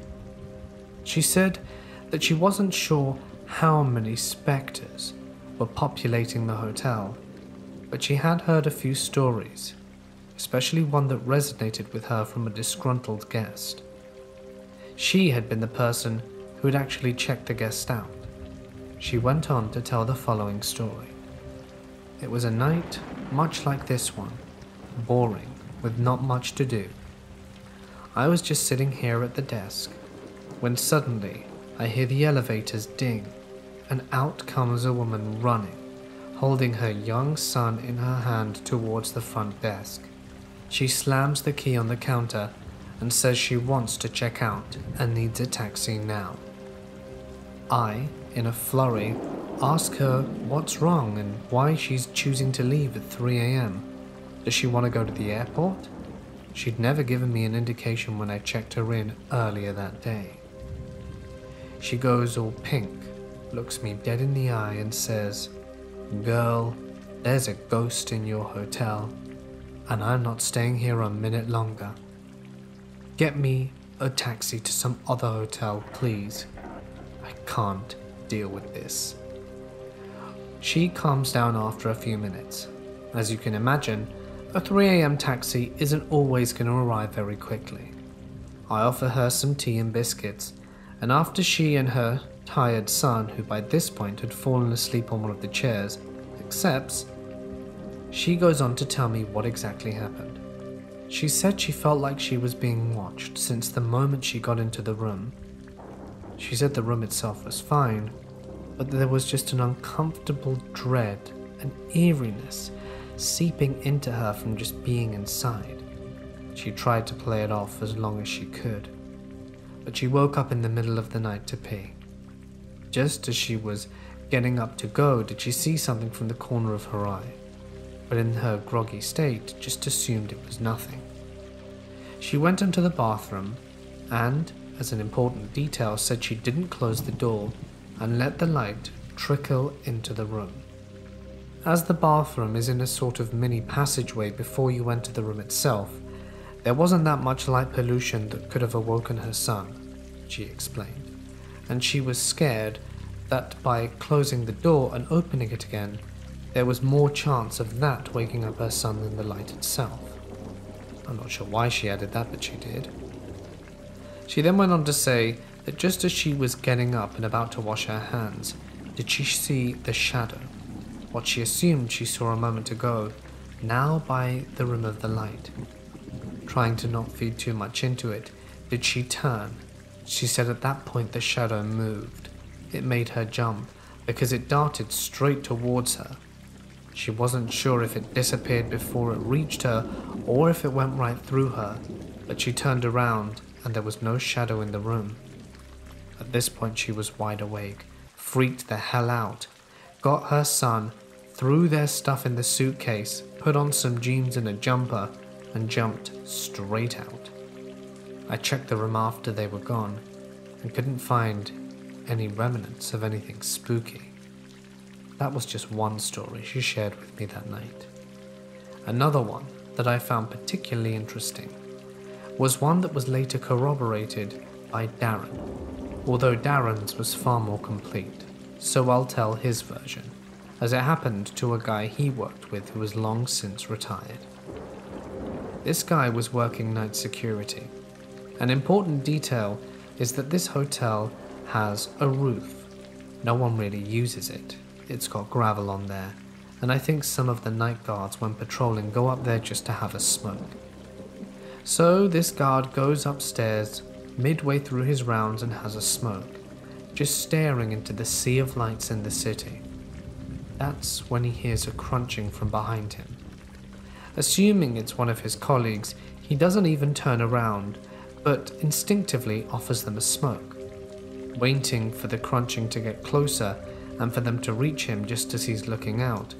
He ponders as all the noises stopped. So he asks again, but still doesn't turn around. So you gonna come for the smoke? A voice from behind goes, Yeah, in one of the deepest voices possible. For a moment, he just stands there, pondering who this voice is. As far as he's aware, no one with this voice is even working here tonight, not that he can recognize whose it is. In his curiosity and confusion, he turns around as he hears a crunch midway on the roof. He looks but sees no one, but the sound of the crunching of gravel is ever approaching towards his location. He's quite close to the edge at this point. He's maybe a few feet just looking out onto a sheer drop. As the gravel approaches, he just about craps his pants because there's no one around, that he can see anyway, and boots it to the door. He closes the door behind him, runs all the way down the stairs, and makes it to the front desk. The guy openly admitted to wetting himself on the way down. He was absolutely terrified. He called in sick the following week and reluctantly came back to work, but apparently never went up to smoke again on the roof of the hotel. The last story is one of my own. There were many other small things that happened. Guests that saw things in the middle of the night, much like the First Lady. Workers who saw apparitions in hallways. People in old timey clothes who would walk into the elevator, and when they'd reach the elevator themselves, they'd be gone. But the one that happened to me, albeit not as scary as the others, fully convinced me that there might be something more to the paranormal than my family want me to think. I had been at work for about two hours. It must have been around midnight, and I was just sorting out some paperwork while absent mindedly texting a friend. I had to print off some documents for personal reasons, and I'm sure that the company wouldn't mind a few pages and a dot of ink. Just as they were coming out of the printer, it jams. I swear under my breath, look into the printer, and try tugging on the page, but it rips. Annoyed, I do the thing where you have to flip the printer open to retrieve the damaged page. It was a careful, tricky business, because my tug had ripped the page in several different places, and now was trying to fish little bits of paper out from all the printer cogs that were so, so annoying. I don't know if it was just my printers, but I'd always hated them. They're always slow, they never worked, and the work one, which was the best one I'd ever worked with, was now failing on me, which was super irritating. Just as the piece of paper is coming out after the second print, do I hear a voice behind me? Printer trouble, huh? Yeah, I say absent mindedly just as the page is coming out. In truth, at that moment, I felt a little bit guilty, because what I was printing was for personal reasons, and I hadn't been at the job long enough yet to know if people cared if you printed off a piece of paper for yourself, if it would be a big deal or not. So, trying to kind of hide it, making out it was work related, I was just gonna be like, yeah, you know, logs and stuff. When I turn around to answer the phantom voice, but there's no one there. I look down the corridor to where front desk is, and I see that there's a girl at reception, a different one than the one I mentioned earlier. I look around, try and ignore it, put my papers in my bag, and casually walk over to the girl at reception. I ask her if she'd seen someone go into the back office, and she says no. Then I ask her who's working here tonight. She looks in the small red book in front of her and says that it was only me and her. I leave it there. I don't say anything else and go about and do my work. But that severely freaked me out. There's no way I imagined that voice. And after hearing everything that people have said and experiencing something that I truly couldn't explain for myself, am I convinced then there might be more to the paranormal than I first thought. One night in April of last year, I was home alone and craving some chips. Fortunately, there was a gas station near my mum's house, about a five minute walk away. I struggled with binge eating disorder, but I have it under control now, so my parents tried to keep junk food out of the house to prevent me from binging on it. So, what I would do is wait for them to go to my brother's hockey practice or game and buy snacks from the gas station and hide the garbage in my room. As I was walking to this store, it was quite dark outside. It was roughly 8 pm and everything went normally. I found a bag of chips, paid for it, and started to make my way back. I live in a suburban neighborhood where the roads are generally not busy all of the time, especially at night. But to get to the gas station, I had to walk down a busy main road, so cars were a common sight at any time. When I turned onto my mum's street, as it connects to the main road, I saw a dark van with tinted windows slowly follow behind me. Thirty seconds later, it pulled up, and a man rolled down the window. It was dark and I couldn't pick out any of the man's features, but the tone of his voice made him sound like he was in his thirties. He said something along the lines of, Hey, my dog Chucky ran off and I'm looking for him. He's a golden retriever, have you seen him? No, sorry, I responded. That's alright. Say, do you want to hop in and help me look for him? It'd be a big help. I'm busy tonight, I lied. This was a very friendly neighborhood, and missing pets were a common occurrence, so I saw nothing wrong with what he was saying. The only reason why I said no was because I was honestly feeling lazy and just wanted to eat chips. To me, there was nothing off or wrong about the encounter. He thanked me anyway and drove off, and I got home a few seconds later, locked the door behind me, and enjoyed the chips in my room. A few days later, I was telling my friend in art class about what happened, just casually bringing it up. At the time, I still saw nothing wrong, until suddenly one of my friends who lives in my neighborhood, Kira, seemed to freeze up. He drove a black van? She asked. Yes, I responded. I didn't know where she was going with that. I saw him the other night. He told me the same thing about the dog, except when I said no, he opened the door and tried to grab me. That's when the realization sank in. What would have happened if I'd have agreed to help him? What would my parents do if I'd have never have come home?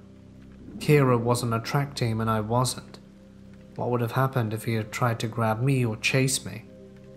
I was lucky he didn't.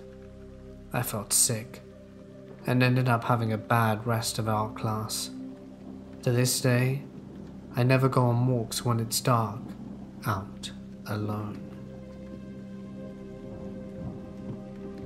I'm 24. I live in Michigan, and I've been working at a small airport for the past four years. Our hangars have been around since the 60s or 70s. I've worked third shift on and off the entire time.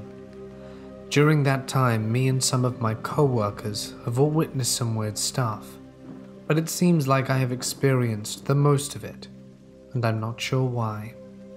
Note that there are three people that work third shift two line guys and one dispatcher. We constantly hear weird noises, closing doors, footsteps, the occasional voices, and we look around and we never find anything. One night, my co worker went home early because his pregnant wife needed him. And I was sitting in a chair at around 4 am taking a break watching a YouTube video. As I'm sitting there, what sounded like something extremely heavy fell and made a loud bang. It was loud enough that the dispatcher heard it from the other side of the building. My immediate thought was a jack gave out and plane fell, but nothing was knocked over or out of place. I freaked the dispatcher out so much he called the police to secure the hangar in case someone got inside. Another night, my co worker, who no longer works here, called Barry, was in the bathroom with me when I came out and saw him go up the stairs into the office section of the hangar. So I followed him up, and when I got to the top of the stairs, I asked him what he was doing. He turned around and had a look of fear on his face. He told me he saw me go up the stairs and was following me to scare me. He said whoever it was was in the same outfit, same hairstyle, and had the same hat. Everything was the same, from the worn Carhartt coat to the Detroit Lions beanie with a stain on it and glasses. We searched the place high and low and found nothing. The only way out was past us or through the dispatch room. No one went through either. This next occurrence happened in January, right after a fresh snow on a calm night.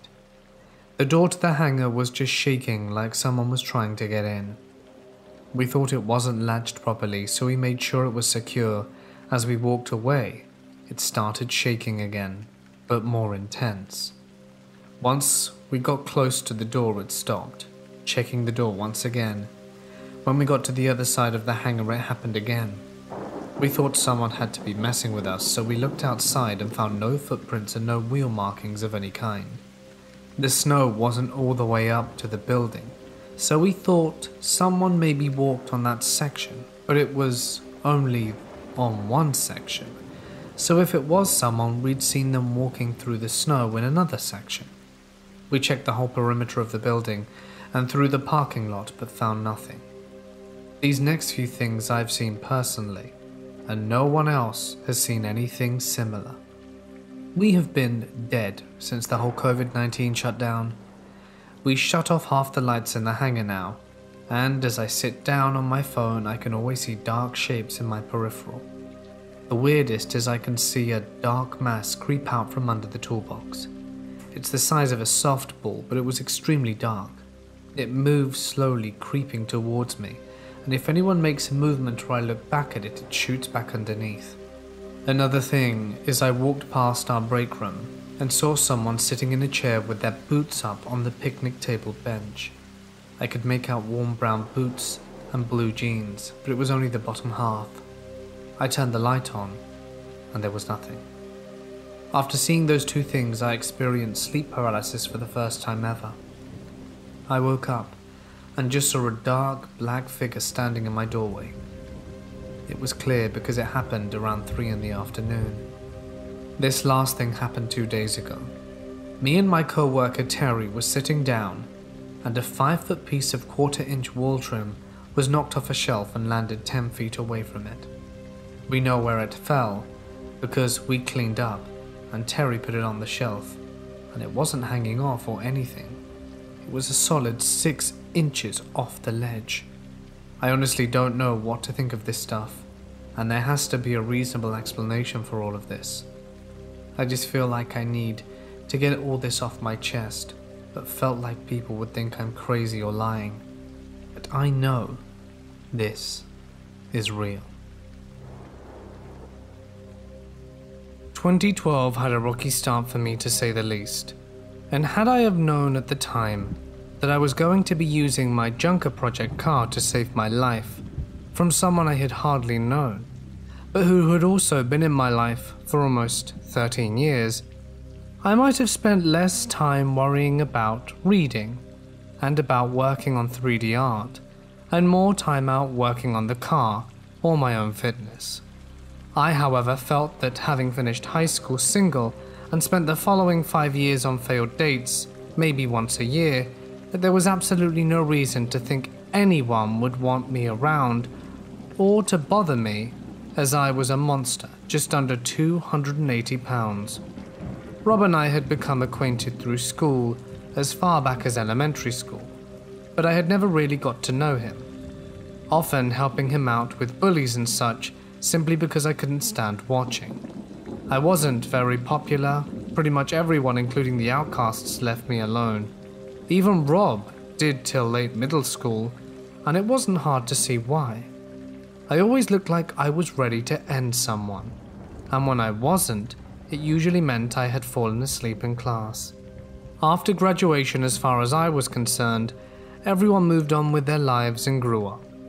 You know, got jobs or died young partying as words came up from time to time through social media. Rob's parents had apparently moved to Australia for three years and left Rob with the house. His uncle moved in to help with the upkeep on bills and such. Rob himself had developed schizophrenia at some point shortly after graduation, and this was brought to light by the passing of his grandfather. I wish someone had been around to tell me of any of the above before he tried to drag me to hell with him. I would run into him from time to time at the mall or Walmart or GameStop, just regular places that didn't seem odd at all for me to be talking to him. It was somewhat of a break from my fairly boring life. This was the way of a small town. Rob had become a big guy, well balanced in weight and height compared to the majority of our school years. His self esteem was still shot, and he would always ask if I wanted to go drinking. But as conversations went on, would also ask if he could help me out with anything. He always asked these two things if we talked, no matter how short the conversation was. I always declined. At first, I thought he had outwardly started acting bi or gay, or had taken a liking to me, so I avoided him wherever I could. I was bad at getting a date, and I'm straight, so turning down a guy wasn't exactly in my mindset anyway. Spring of 2012, I went to a car meet to show off my new prize. Rob was there, but something was wrong. This was two states away from home, and he didn't own a vehicle yet. Looking back, it just seems odd. I knew this was off, and got that gut feeling that told me trouble was brewing. He didn't approach me, though he did watch giving glances on occasion from where he stood. Before the meet ended, I decided I'd say hello, at least to be polite and see what he was up to. In a voice that was almost as if his mind had been somewhere else altogether, he said, That was messed up, you know, and it's not going to be the last mistake either, I bet. My head fell to my right shoulder, and my eye face was again locked in confusion. What? I said hello. Hello, he mimicked in the same voice again. I turned away and brushed it off as him being childish. Maybe someone had already pissed him off and he was just venting. Ah well, not my problem. The meet ends, and I'm easily the third or fourth to get out. Rob had been sitting in the passenger of some Dodge Charger and looked to be now watching the owner, waiting tiredly to be taken home. Skip ahead a few weeks for another meet. I show up late after getting off work late and I'm gonna see a restored Ford Falcon that this guy on the forums I've joined had been posting pictures of. There's a small standing around the car. That's not the owner, it's Rob. And he's looking dead on me as I walk up. He waits till I'm walking by him around the front of the car and lightly open handedly pushes my shoulder to get me to look at him. And the second I do that, using the mock voice from last time comes up again with the words, Mistakes, mistakes. I'm losing my nerves because the voice doesn't sound to be a threat. But when I ask him what his deal is, like, it's like I suddenly stop existing again. There's a guy next to me now, Travis. I know him because of his truck. You can't miss the paint job. He's out of his head. Just ignore him. It's not the first strange thing he said tonight. Travis seems to have caught the look on my face and I guess is trying to help. The evening ends. Everyone leaves but me. I stick around to enjoy the night sky and cool breeze. I'm in an empty lot on a mountainside for at least another 40 minutes before I finally go. There's the Falcon about 20 or so miles back down the road, between town. It's sitting on the shoulder, blinkers on, and Rob and the owner both leaned on the car looking entirely bummed out. It ran out of gas, and they've both just finished arguing about whose fault that is. I offer to give them a lift to go get gas. The owner instead hands me a canister from the truck and some money, insisting that they'll both need to watch the car. No chances I'm letting anything happen to it. As I leave, I hear them get on each other's case, and could almost swear for the first time I've actually heard legit anger in the otherwise depressed, normal voice of Rob. I return to them. The owner is sitting in the driver's seat in a huff. Rob quickly nabs the canister from me and waves me off, almost in a disgusted fashion. Maybe I should have taken the hint that Rob's mocking and such were a mental issue, but for whatever reason I kept thinking it's just some misplaced anger. Guys, you sure you won't need any more help? The owner starts to speak up, but it's cut off when Rob whirls on his heels from filling the tank, and in a rage filled scream goes, Always be helpful, but never when needed, always a mistake. We don't need you. I'm not about to fight with him or let him get any closer to me. Fighting Rob would be about the dumbest thing I could do.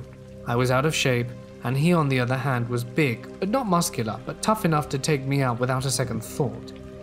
I wouldn't go to another car meet for a month. However, it'd be far from the last time I saw Rob. These next two visits would leave me helping him to get home, and others running away from him with a dislocated shoulder. I had been out in town getting some supplies to build a new desk for my home office.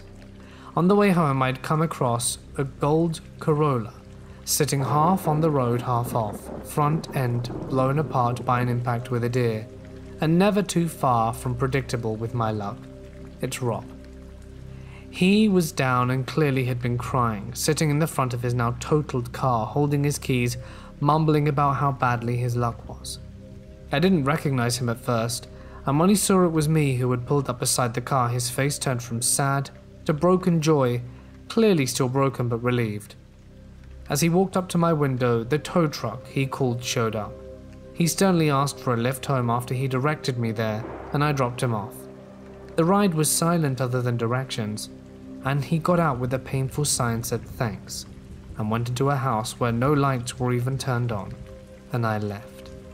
I had rented a small car garage to work in to be away from home so my family couldn't distract me from my work.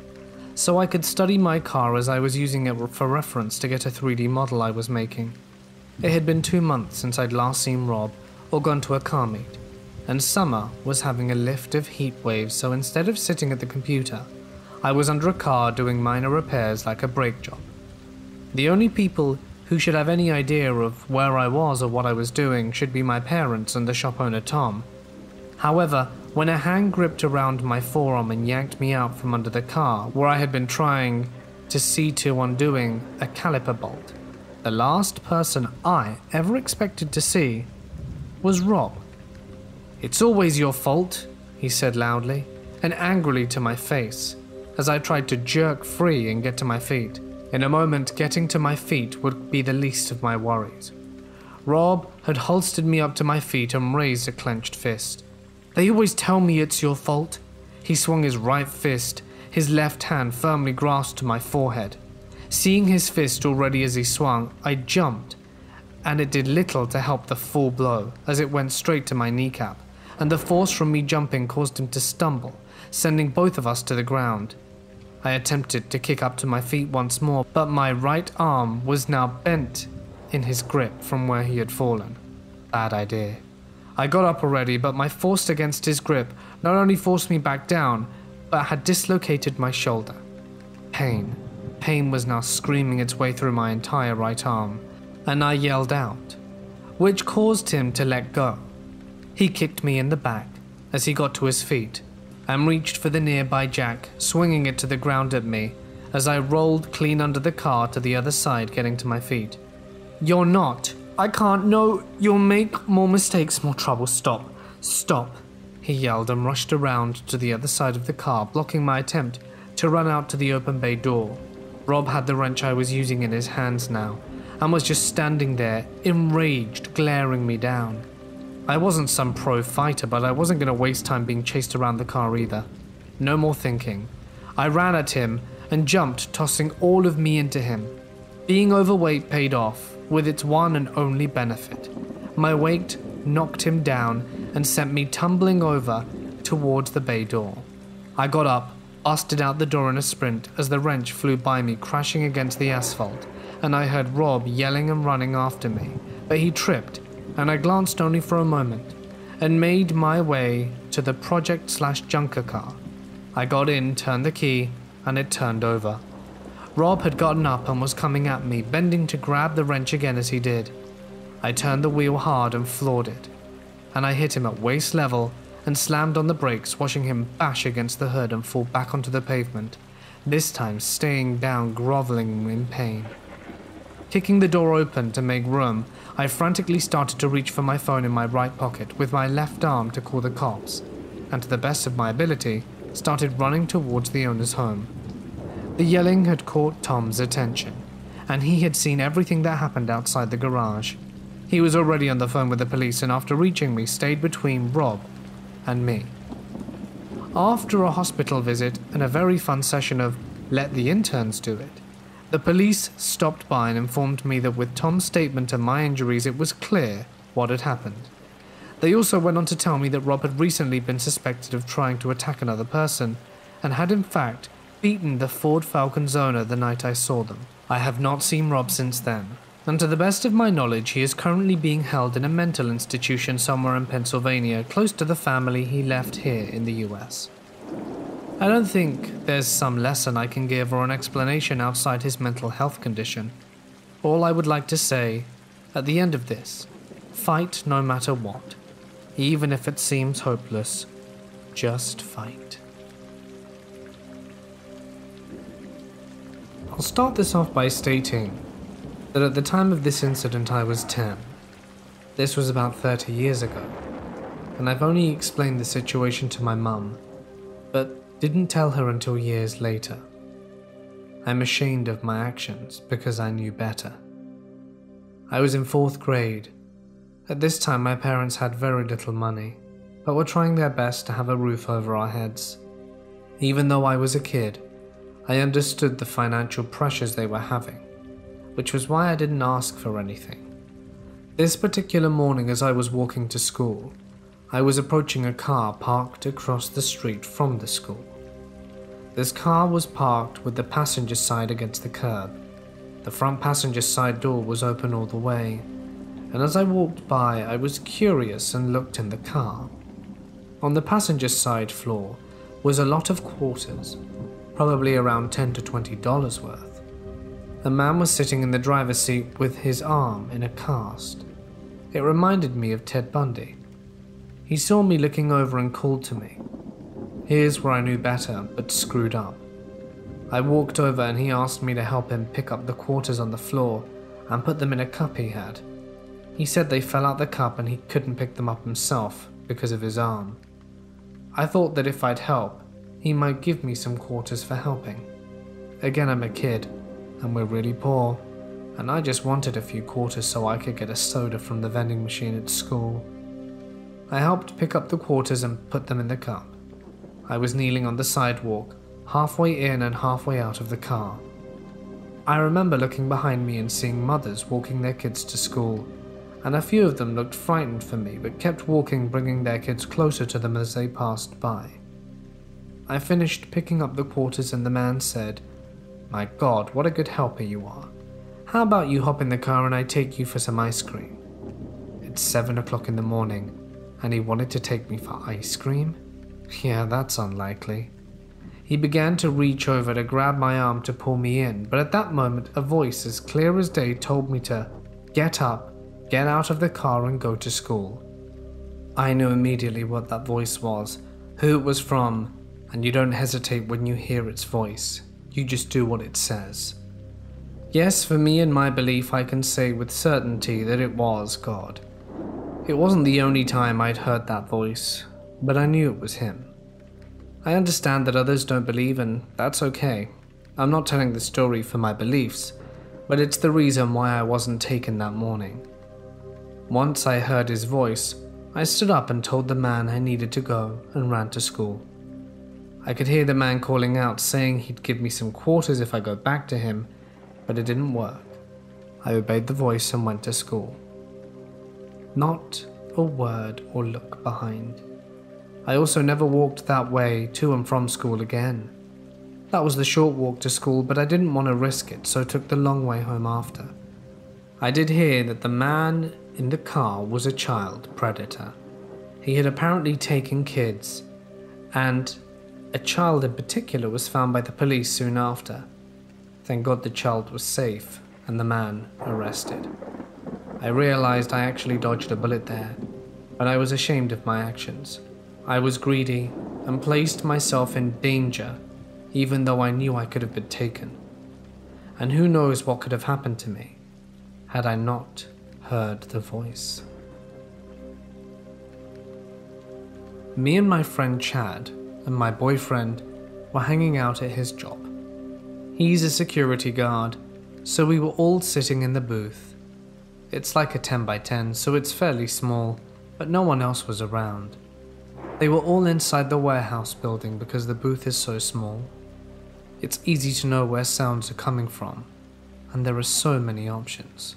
I started hearing flute music, kind of like Elven, or like you'd hear in Lord of the Rings in the Shire. I thought it was just my friend or my boyfriend's phone games as they were playing on their phone, but mine was dead, so I knew it wasn't playing. I also thought it could have been the small radio, but the direction of the waves were coming from the left, not the right, where the radio was. I kept hearing it off and on, and then I said to everyone, What's the music? And then my friend said he heard it too. I had my boyfriend turn up his sound, and it wasn't his game. My friend was playing Clash of Clans, so it wasn't his either. As we sat to listen, as soon as we really stopped paying attention to it or got distracted, I thought I could hear it again, and he did too. But my boyfriend claims he couldn't hear a thing. So me and my friend start checking that the computer isn't playing. The speakers aren't on.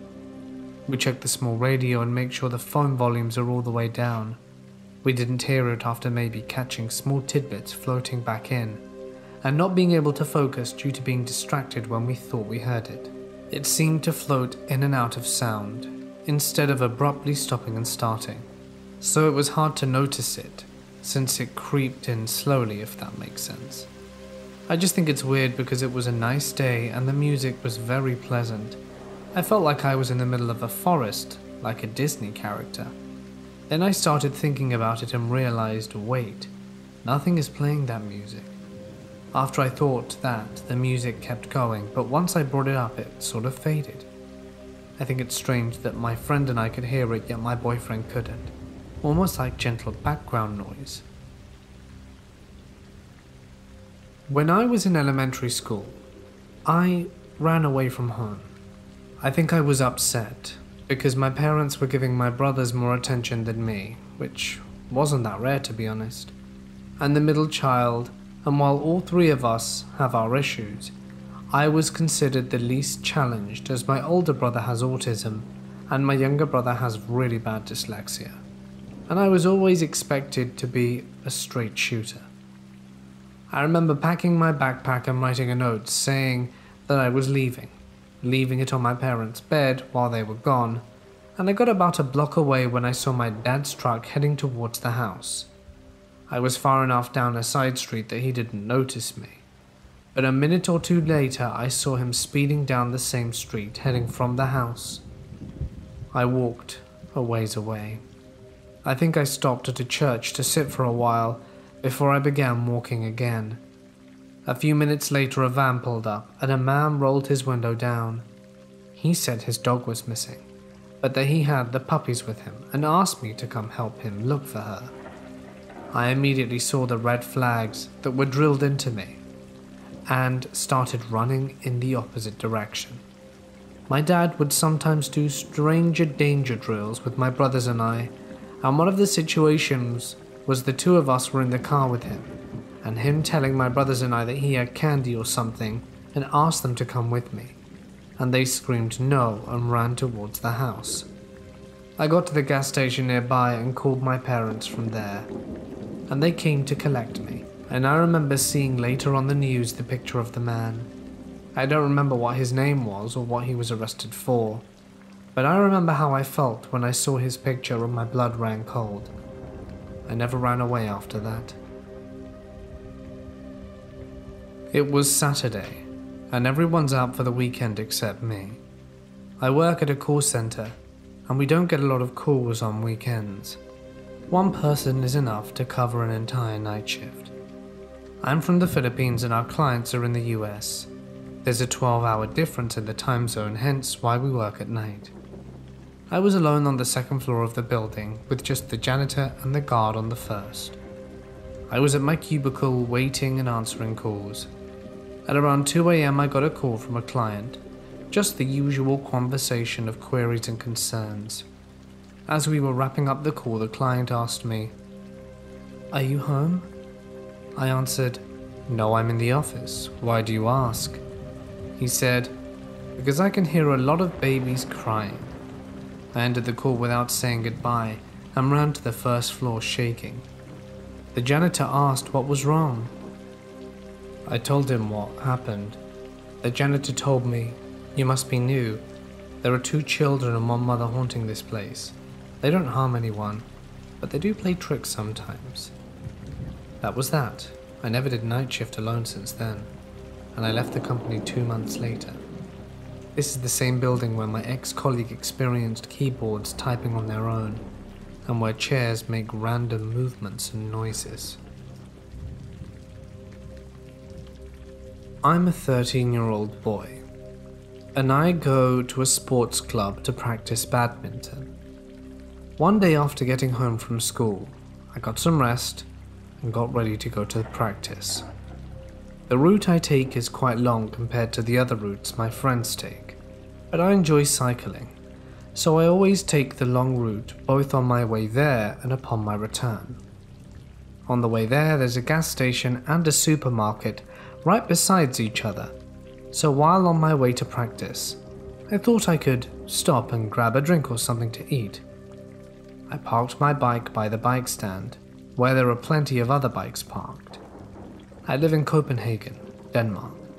Almost everyone has a bike here, and I head into the market. I grab my things, and when I'm done, I come back outside and see a guy who's quite tall, wearing all dark clothes. He was about six foot five and was standing right beside my bike. He was so close he had to move before I could even get mine out. I quietly said, Could you move, please? in Danish, of course, and he answered with, Oh, this is your bike. It's pretty nice. Yeah, thanks, I'm kind of in a rush. Excuse me. The man stared at me for a while, but then moved aside. I unlocked my bike and got out of there quickly because, to be honest, I was a bit freaked out. But I've been given the talk about stranger danger many times by my parents that it could really creep me out if there was something suspicious or something. I get to practice with my friends. I'm there for about two and a half hours. We shower and then got ready to head home. It was around 9:30 when I was done, and this was late in December, so it got dark really quickly. At about 4 or 5 p.m., the sun would start to set. I went outside to grab my bike and beside the bike stands there was a huge container, which was being used because they were renovating some of their things inside the club. And even though my bike was pretty far away from it, I could see someone standing and leaning up against the container staring right at me. While I was unlocking my bike, I tried to peer harder to see who it was. That's when I noticed. It was the same dude from the supermarket. He'd followed me to the club and waited for me to come out after finishing. That really creeped me out. At this point, I was panicking. I felt the guy's intentions were not good. So I quickly unlocked my bike and began cycling fast. While cycling, I saw a beat up, old grey car that was driving up so fast to reach me. And when it did, the windows rolled down. And it was the same creep. And he was shouting things like, Oh, don't be scared, I want to talk to you. And stuff like that, which I really didn't want to hear as I was panicking. I decided to take a route where only walkers and cyclists can use and rushed home in about five minutes. As I was entering my driveway, I couldn't see any cars drive past and was very relieved and happy that I thought I lost the guy. As I was locking the bike in the shed, I saw the exact same grey car driving up to my driveway. I was scared and paranoid that I ran for the front door and got inside and closed it. I went to our living room window where I could see who was walking up to our front door and saw the guy going up to the stairs to reach it. Seconds went by and he started trying to open the door. But as soon as he began banging on it, I called my mum, since there was no one else home at the time. Unfortunately, my mum picked up on the first ring, and I began stuttering and telling her what happened. She told me to get a sharp utensil from the kitchen and hide in my room, and that she would call the police immediately. I went to the kitchen, did as she said. Before going to my room, went to the front door, and there was a window on the left he couldn't reach, or else he would fall off the stairs. And I shouted that the police were on their way and that I was armed, even though I was stuttering through the whole thing. Minutes felt like hours, and I could see the blue sirens from the kitchen window. At that point, I dropped the utensil and went out through the back door to quickly get the cops and told them what happened. While talking with them, my parents came home, hugged me tight, and I was crying. They searched our back garden and all over the house to see if anyone was hiding, but they couldn't locate the guy. What I think happened was that he got scared when I shouted out the window and left in a hurry, because there were visible skid marks on our driveway, which were of his car, and that's how he floored the gas to get the hell out of there. This was the first time something as scary as this has ever happened to me, and I hope no one has to go through what I did. I just hope I never meet that creep again. To set the scene, my friends, a married couple, had just bought a house in central Oregon. The house is a little ways outside of town, set back in the woods and bordering on a national forest. It sits on almost three acres of fairly wooded land, and there is a small second dwelling in the back that is essentially a one bedroom house. They were letting me rent it from them, as we had all lived together for the last year in a rental house downtown. It's early July, and I had already moved in a few weeks ahead of them because the husband was finishing an accelerated summer class. I was working from home and was the only one on the property. This was a bit before I adopted my dog, so I was really alone. All our neighbours are a ways off, since all the plots there are several acres minimum, so the little house is fairly isolated. It's about 9:30 a.m. and my work is in full swing. I would start early in the morning and the phones were generally extremely busy at this time. Suddenly I hear a knock on my door. This freaks me out because I was supposed to be alone on the property but I quickly push the anxiety out of my mind and figure one of my friends probably came to work on the house and needed something from me. With the way my front door is positioned in relation to the windows, I have no way of seeing who is at the door without opening it. I open the doors to see this little old lady standing there. She introduces herself as the previous owner of the house and asks if I'm the homeowner. I tell her no, that I'm renting the small unit from the homeowners but that they should be moving in in a few weeks from now. She then asks if she could take some flowers from the garden, claiming she planted them for her dead mother. I tell her to go for it because I didn't really care and needed to get back to work. So I close the door and resume working.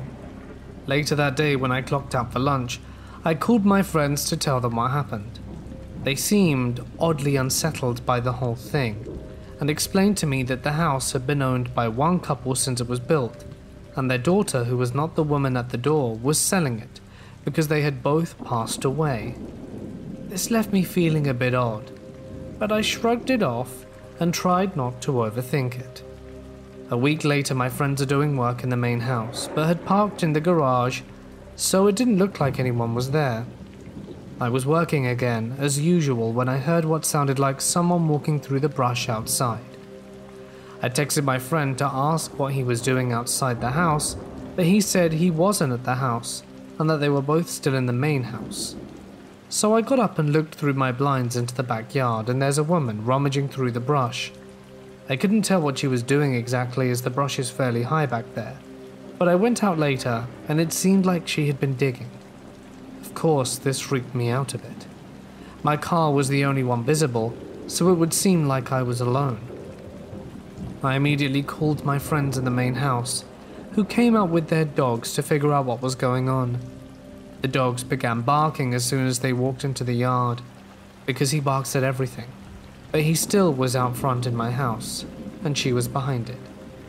As soon as she heard the dogs, I heard her start moving hurriedly away from the house. At this point, she had to move to one of the blind spots on the side of my house, by the garage, so I could no longer watch her through the window. I heard my friend call after her, but she took off running into the woods. There have been no parked cars on the property, so she hadn't driven up.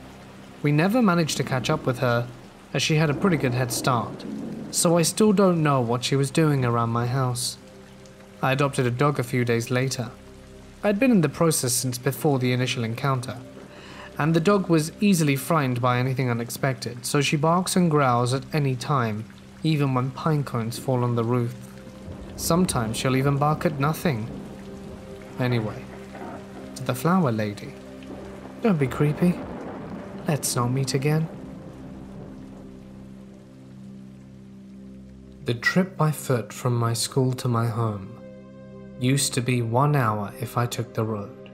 15 minutes if I took the forest path. One day, my two friends and I, who were 10 years old then, decided we'd take the forest shortcut.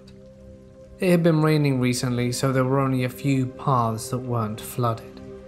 It looked more like a bog than a forest that day. Halfway through our walk home, we see this guy wearing a black hoodie.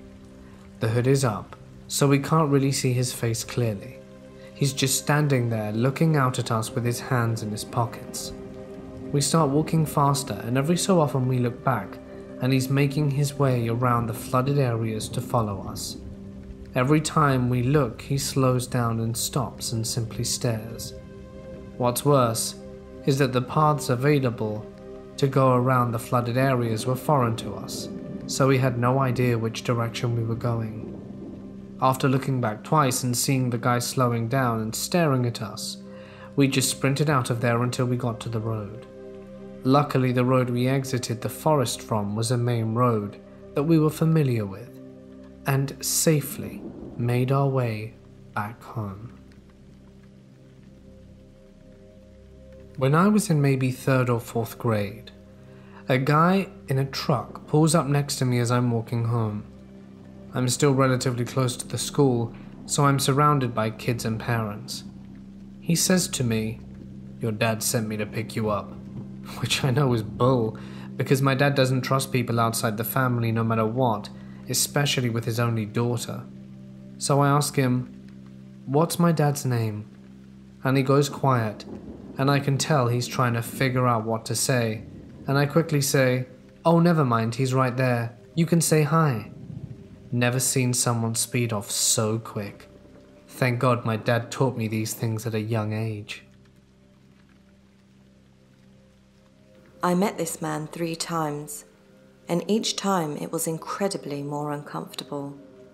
Imagine a man in his late 30s, tall, skinny, short brown hair. I think some facial hair too. Anyway, the first time I saw him, I was there, but I wasn't his target. It happened when I went back from school later than usual, and the metro was fairly empty. The first time I saw him, he was following around this couple. They were both adults, and the guy in the couple was pretty big, thankfully, walking from one end of the metro train to the other. They were obviously trying to get away from him, But this guy was weird. He had crazy eyes affixed on both of them, and just following them around, not saying anything, grinning. I only caught a glimpse of this, but the couple was visibly uncomfortable with this guy, and he was not giving up. I remember thinking, thank God he didn't stop for me, since I was alone, and no one was really around aside from those two. I swear, I think I jinxed myself. The second time I saw him, I was in the subway again, going to school. You know that creepy ass thing when you're holding the bar and then the person above lowers their hand on top of yours? Yeah. At first, I thought it was an accident, so I lowered my hand, but he moved it again back on top of mine. I had my head down looking at my phone, I think, so when I looked up, he was right in my face, way too close to me. He was just staring at me, straight in the eye. Mind you, I'm the kind of person that will have a stare down with a stranger if they insist on staring at me, so I'm not exactly shy. But he creeped the hell out of me. It was fairly crowded, so I squeezed myself past a few people and sat down on a chair a few meters away in hopes he would just stand by the bar and leave me alone. Wrong. He sat on a chair on the row in front of me and just stared. He also had this smile on his face just thinking about it makes me uncomfortable. I can't exactly convey what he made me feel like, but I think it was just a lot of anxiety. It was enough to make me panic a little bit when the chair next to me was empty. Luckily enough, we were coming to a stop, so I stood up. It was a stop earlier than I'd have to get off, but I was not going to stay on the train. He promptly stood up too and started coming towards me. Because it was crowded, I pretended to get off, but instead of that, I cut through the line of people and ended up on the other side of them, away from that guy. I hid in a corner until the doors closed, and sure enough, I see him outside on the platform. It upset my stomach when I realized that he was going to follow me off the train, and that I would have to stand there with him or be late to school because of it, or worse. There wasn't any security, and it's not that unusual to meet creeps since I lived in the capital. So I was shaken up for a bit, but then I forgot about it. Months later, I'm on the bus with a friend of mine. I'm a girl, my hair is short. I think her hair was short as well. So, in the eyes of people from my country, we both look like lesbians. She actually is one, but that's besides the point. The bus is half empty, so there's people, but there's no seats available. We're both standing and holding the bar, talking about whatever and looking out the window in front of us. The bus stops abruptly, and this guy loses balance and sort of bends over in front of us. Like, imagine he was holding the same bar we were, and he was just a reverse L shape with his head in front of me and my friend's chests. That wasn't weird. Like, yeah, okay, perhaps he lost his balance, but then he took a little too long to actually straighten himself up. He stayed there for about 10 to 15 seconds until we both looked at him. I stare at this guy, he looks back at me. You're really beautiful. Huh? And my friend says, That's weird. Only after that did he straighten himself and look down at us. He was so much taller. He did not appreciate my friend's comment and he became a frowny man. It was our signal to move along the bus, away from him. That, and the fact that he started saying stuff to us. I can't remember exactly what it was, but it was along the lines of, What's your bloody problem? Can I just compliment a nice girl? It was only after, when we went to the front of the bus, that I finally realised that it was the same guy from the subway. If it hadn't been months, I would have suspected he had stalked me. But because it was in the same area ish that I would get off the metro, I assumed he would just harass anyone he found. After we went to the front of the bus, he let loose. He started screaming at us about how we were lesbians, about how we were the devil, and how we should be eradicated, and that we're disgusting, and that he wishes the Soviet Union would come, take over, and burn people like us down. In retrospective, I really feel bad for my friend. I'm sure those comments might have gotten to her more than they did to me. I feel like the people on the bus were judging us for some reason, but I think it might have just been paranoia because of the guy making a full blown scene. It was scary to have a man taller than us wishing death upon us. Not only that, we got off at the next stop to get away from it, and power walked our way to the place where we knew there would be some guards present. And of course, he got off and started following us, still yelling profanities at us. It was weird because as we were power walking, we didn't stare at him the entire time. We were focused on getting to the security that was ahead of us. So when we looked back to check how close he was to us, he was gone. Just gone. This was a pretty big open area, too. I looked around and around to see if I could spot him walking off, and I just couldn't. I remember both me and my friend were shaken, but again, we put it at the back of our minds, and it just became a story I tell people sometimes. After that last encounter, I moved countries to go to university. I'm actually kind of glad because I felt like I would have met him again. If anyone lives in Bucharest, this happened around Piața Universitatea and in the metro on the line M1 at the stop called Stefan cel Mare. Since it's fairly recent, I don't doubt that he's still lurking. Stay safe, my friends. This happened to me four years ago. At the time, I was 17 years old, and I had been offered a job at a classmate's mum's mini market. Here in my country, I'm in South America for context, those are pretty common and sell everything from frozen food to bathroom necessities. Usually, people will build a tiny separate building next to their houses for it and work the store themselves.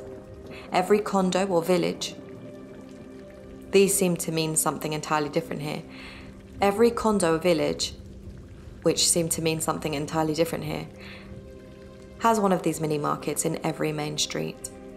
Anyway, my classmate's mum offered me to work there Monday to Saturday, 8am to 4pm, with some very good cash and free lunch.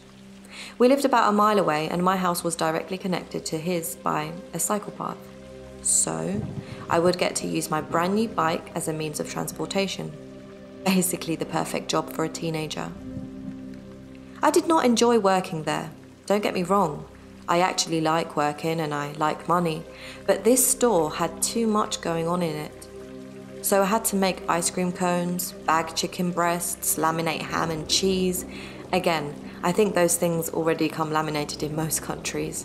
I had to work the coffee machine and keep everything immaculate and in order, while checking that all of the stuff this lady had on her store wasn't expired. Keep in mind, I'm talking January 2014, and I found a bag of sausages that expired on January 2013 being sold during my first week there. Overall, it wasn't really abusive. She just didn't know how to manage her store or her money. That's a completely different story, though. But, by the way, my ex boss, let's not meet ever again because God, your store was so unsanitary. Anyhow, one of my many jobs there was keeping an eye on fruit and veggies, meaning checking for the rotten ones and throwing them away, and refilling the tomatoes if the shelves were empty. There was only one huge problem for me. Being a 5 foot girl weighing only 120 pounds, the 45 pound potato sacks were an issue. For context, right in front of the store there was a huge green area and we have public workers, gardeners who take care of them. They have one specific person in charge of specific areas, so the same man would always be there doing his job. Let's call him Pete. Back when only my boss and her family worked their store, they would ask Pete for help to take the potatoes from the car and drop them at the back of the store. He would always help, and the only thing he asked for as payment was a cup of coffee and a sandwich. This man was in his late 50s, didn't go through education, he couldn't read, and usually asked me to read the newspaper to him. And even though he didn't seem to have any kind of mental handicap, he would not understand that there were limits to how you approach people and what is and isn't appropriate. More on that later. Anyway, whenever we had to take the potatoes out of the car, my boss would phone him and he would come quickly. As he had a red bike with an engine attached to it, everyone was very comfortable with him. He was just an old man who helped with the heavier duties and asked for very little in return. As I started learning the job, my boss wouldn't be around to help me when I had doubts, meaning I was completely alone in the store. I would struggle by myself on moving the potatoes from the back of the store and often would lose a piece of a fingernail or something. Because of this, whenever she left, she would ask the gardener to keep an eye on me and help me with it. The problem began pretty quickly. I have interacted many times with people with conditions, and I'm not trying to be rude, but when someone has some kind of mental health issue or syndrome, even if they can normally function and even have jobs, you can kind of tell. And I assure you, this man was completely healthy and normal. Looking back, I think he was using his lack of education as a way to shield his behavior, and so people pitied him and felt guilt for not liking him and tried to take advantage of the girls who worked there. There had been some before me. I never met them. He would fixate on certain topics, always repeat the same conversations, become way too close to me and my co worker, another classmate. He would stand up too close and talk some very personal problems with me. Keep in mind, he was 30 years older than me. I was underage. He became another one of the many unpleasant things that I had to deal with on a daily basis. As weeks progressed, he gave me his phone number so I could call him when I needed assistance. I never called him because I, of course, didn't want to be around him and because I'm the kind of person who thinks they don't need help. When he realized I wasn't calling him, he tried to push me into giving him my number. I never did it. So he would stay right in front of me in the store and come in every 20 minutes. He gave me a bicycle seat and even though I told him I didn't want it, that he could keep it, he removed my original brown seat and put the one he had got me. He would tell me he was single and owned a house. He would call me pretty and try to play with my hair, etc. I was severely uncomfortable around him, but nobody seemed to be bothered by any of those things. It made me feel very awkward and guilty for feeling these things which only contributed to the already disappointing feeling of working in this unsanitary place. I decided to do my best to ignore him, but when he realized I was distant, he started accusing me of being mean with my boss, but nothing else. It was only a summer job, so I thought I just had to stand it for a month and it would be over. But oh, no, it was not.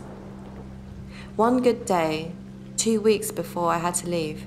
He tells me he is in love with me. Dead serious, too.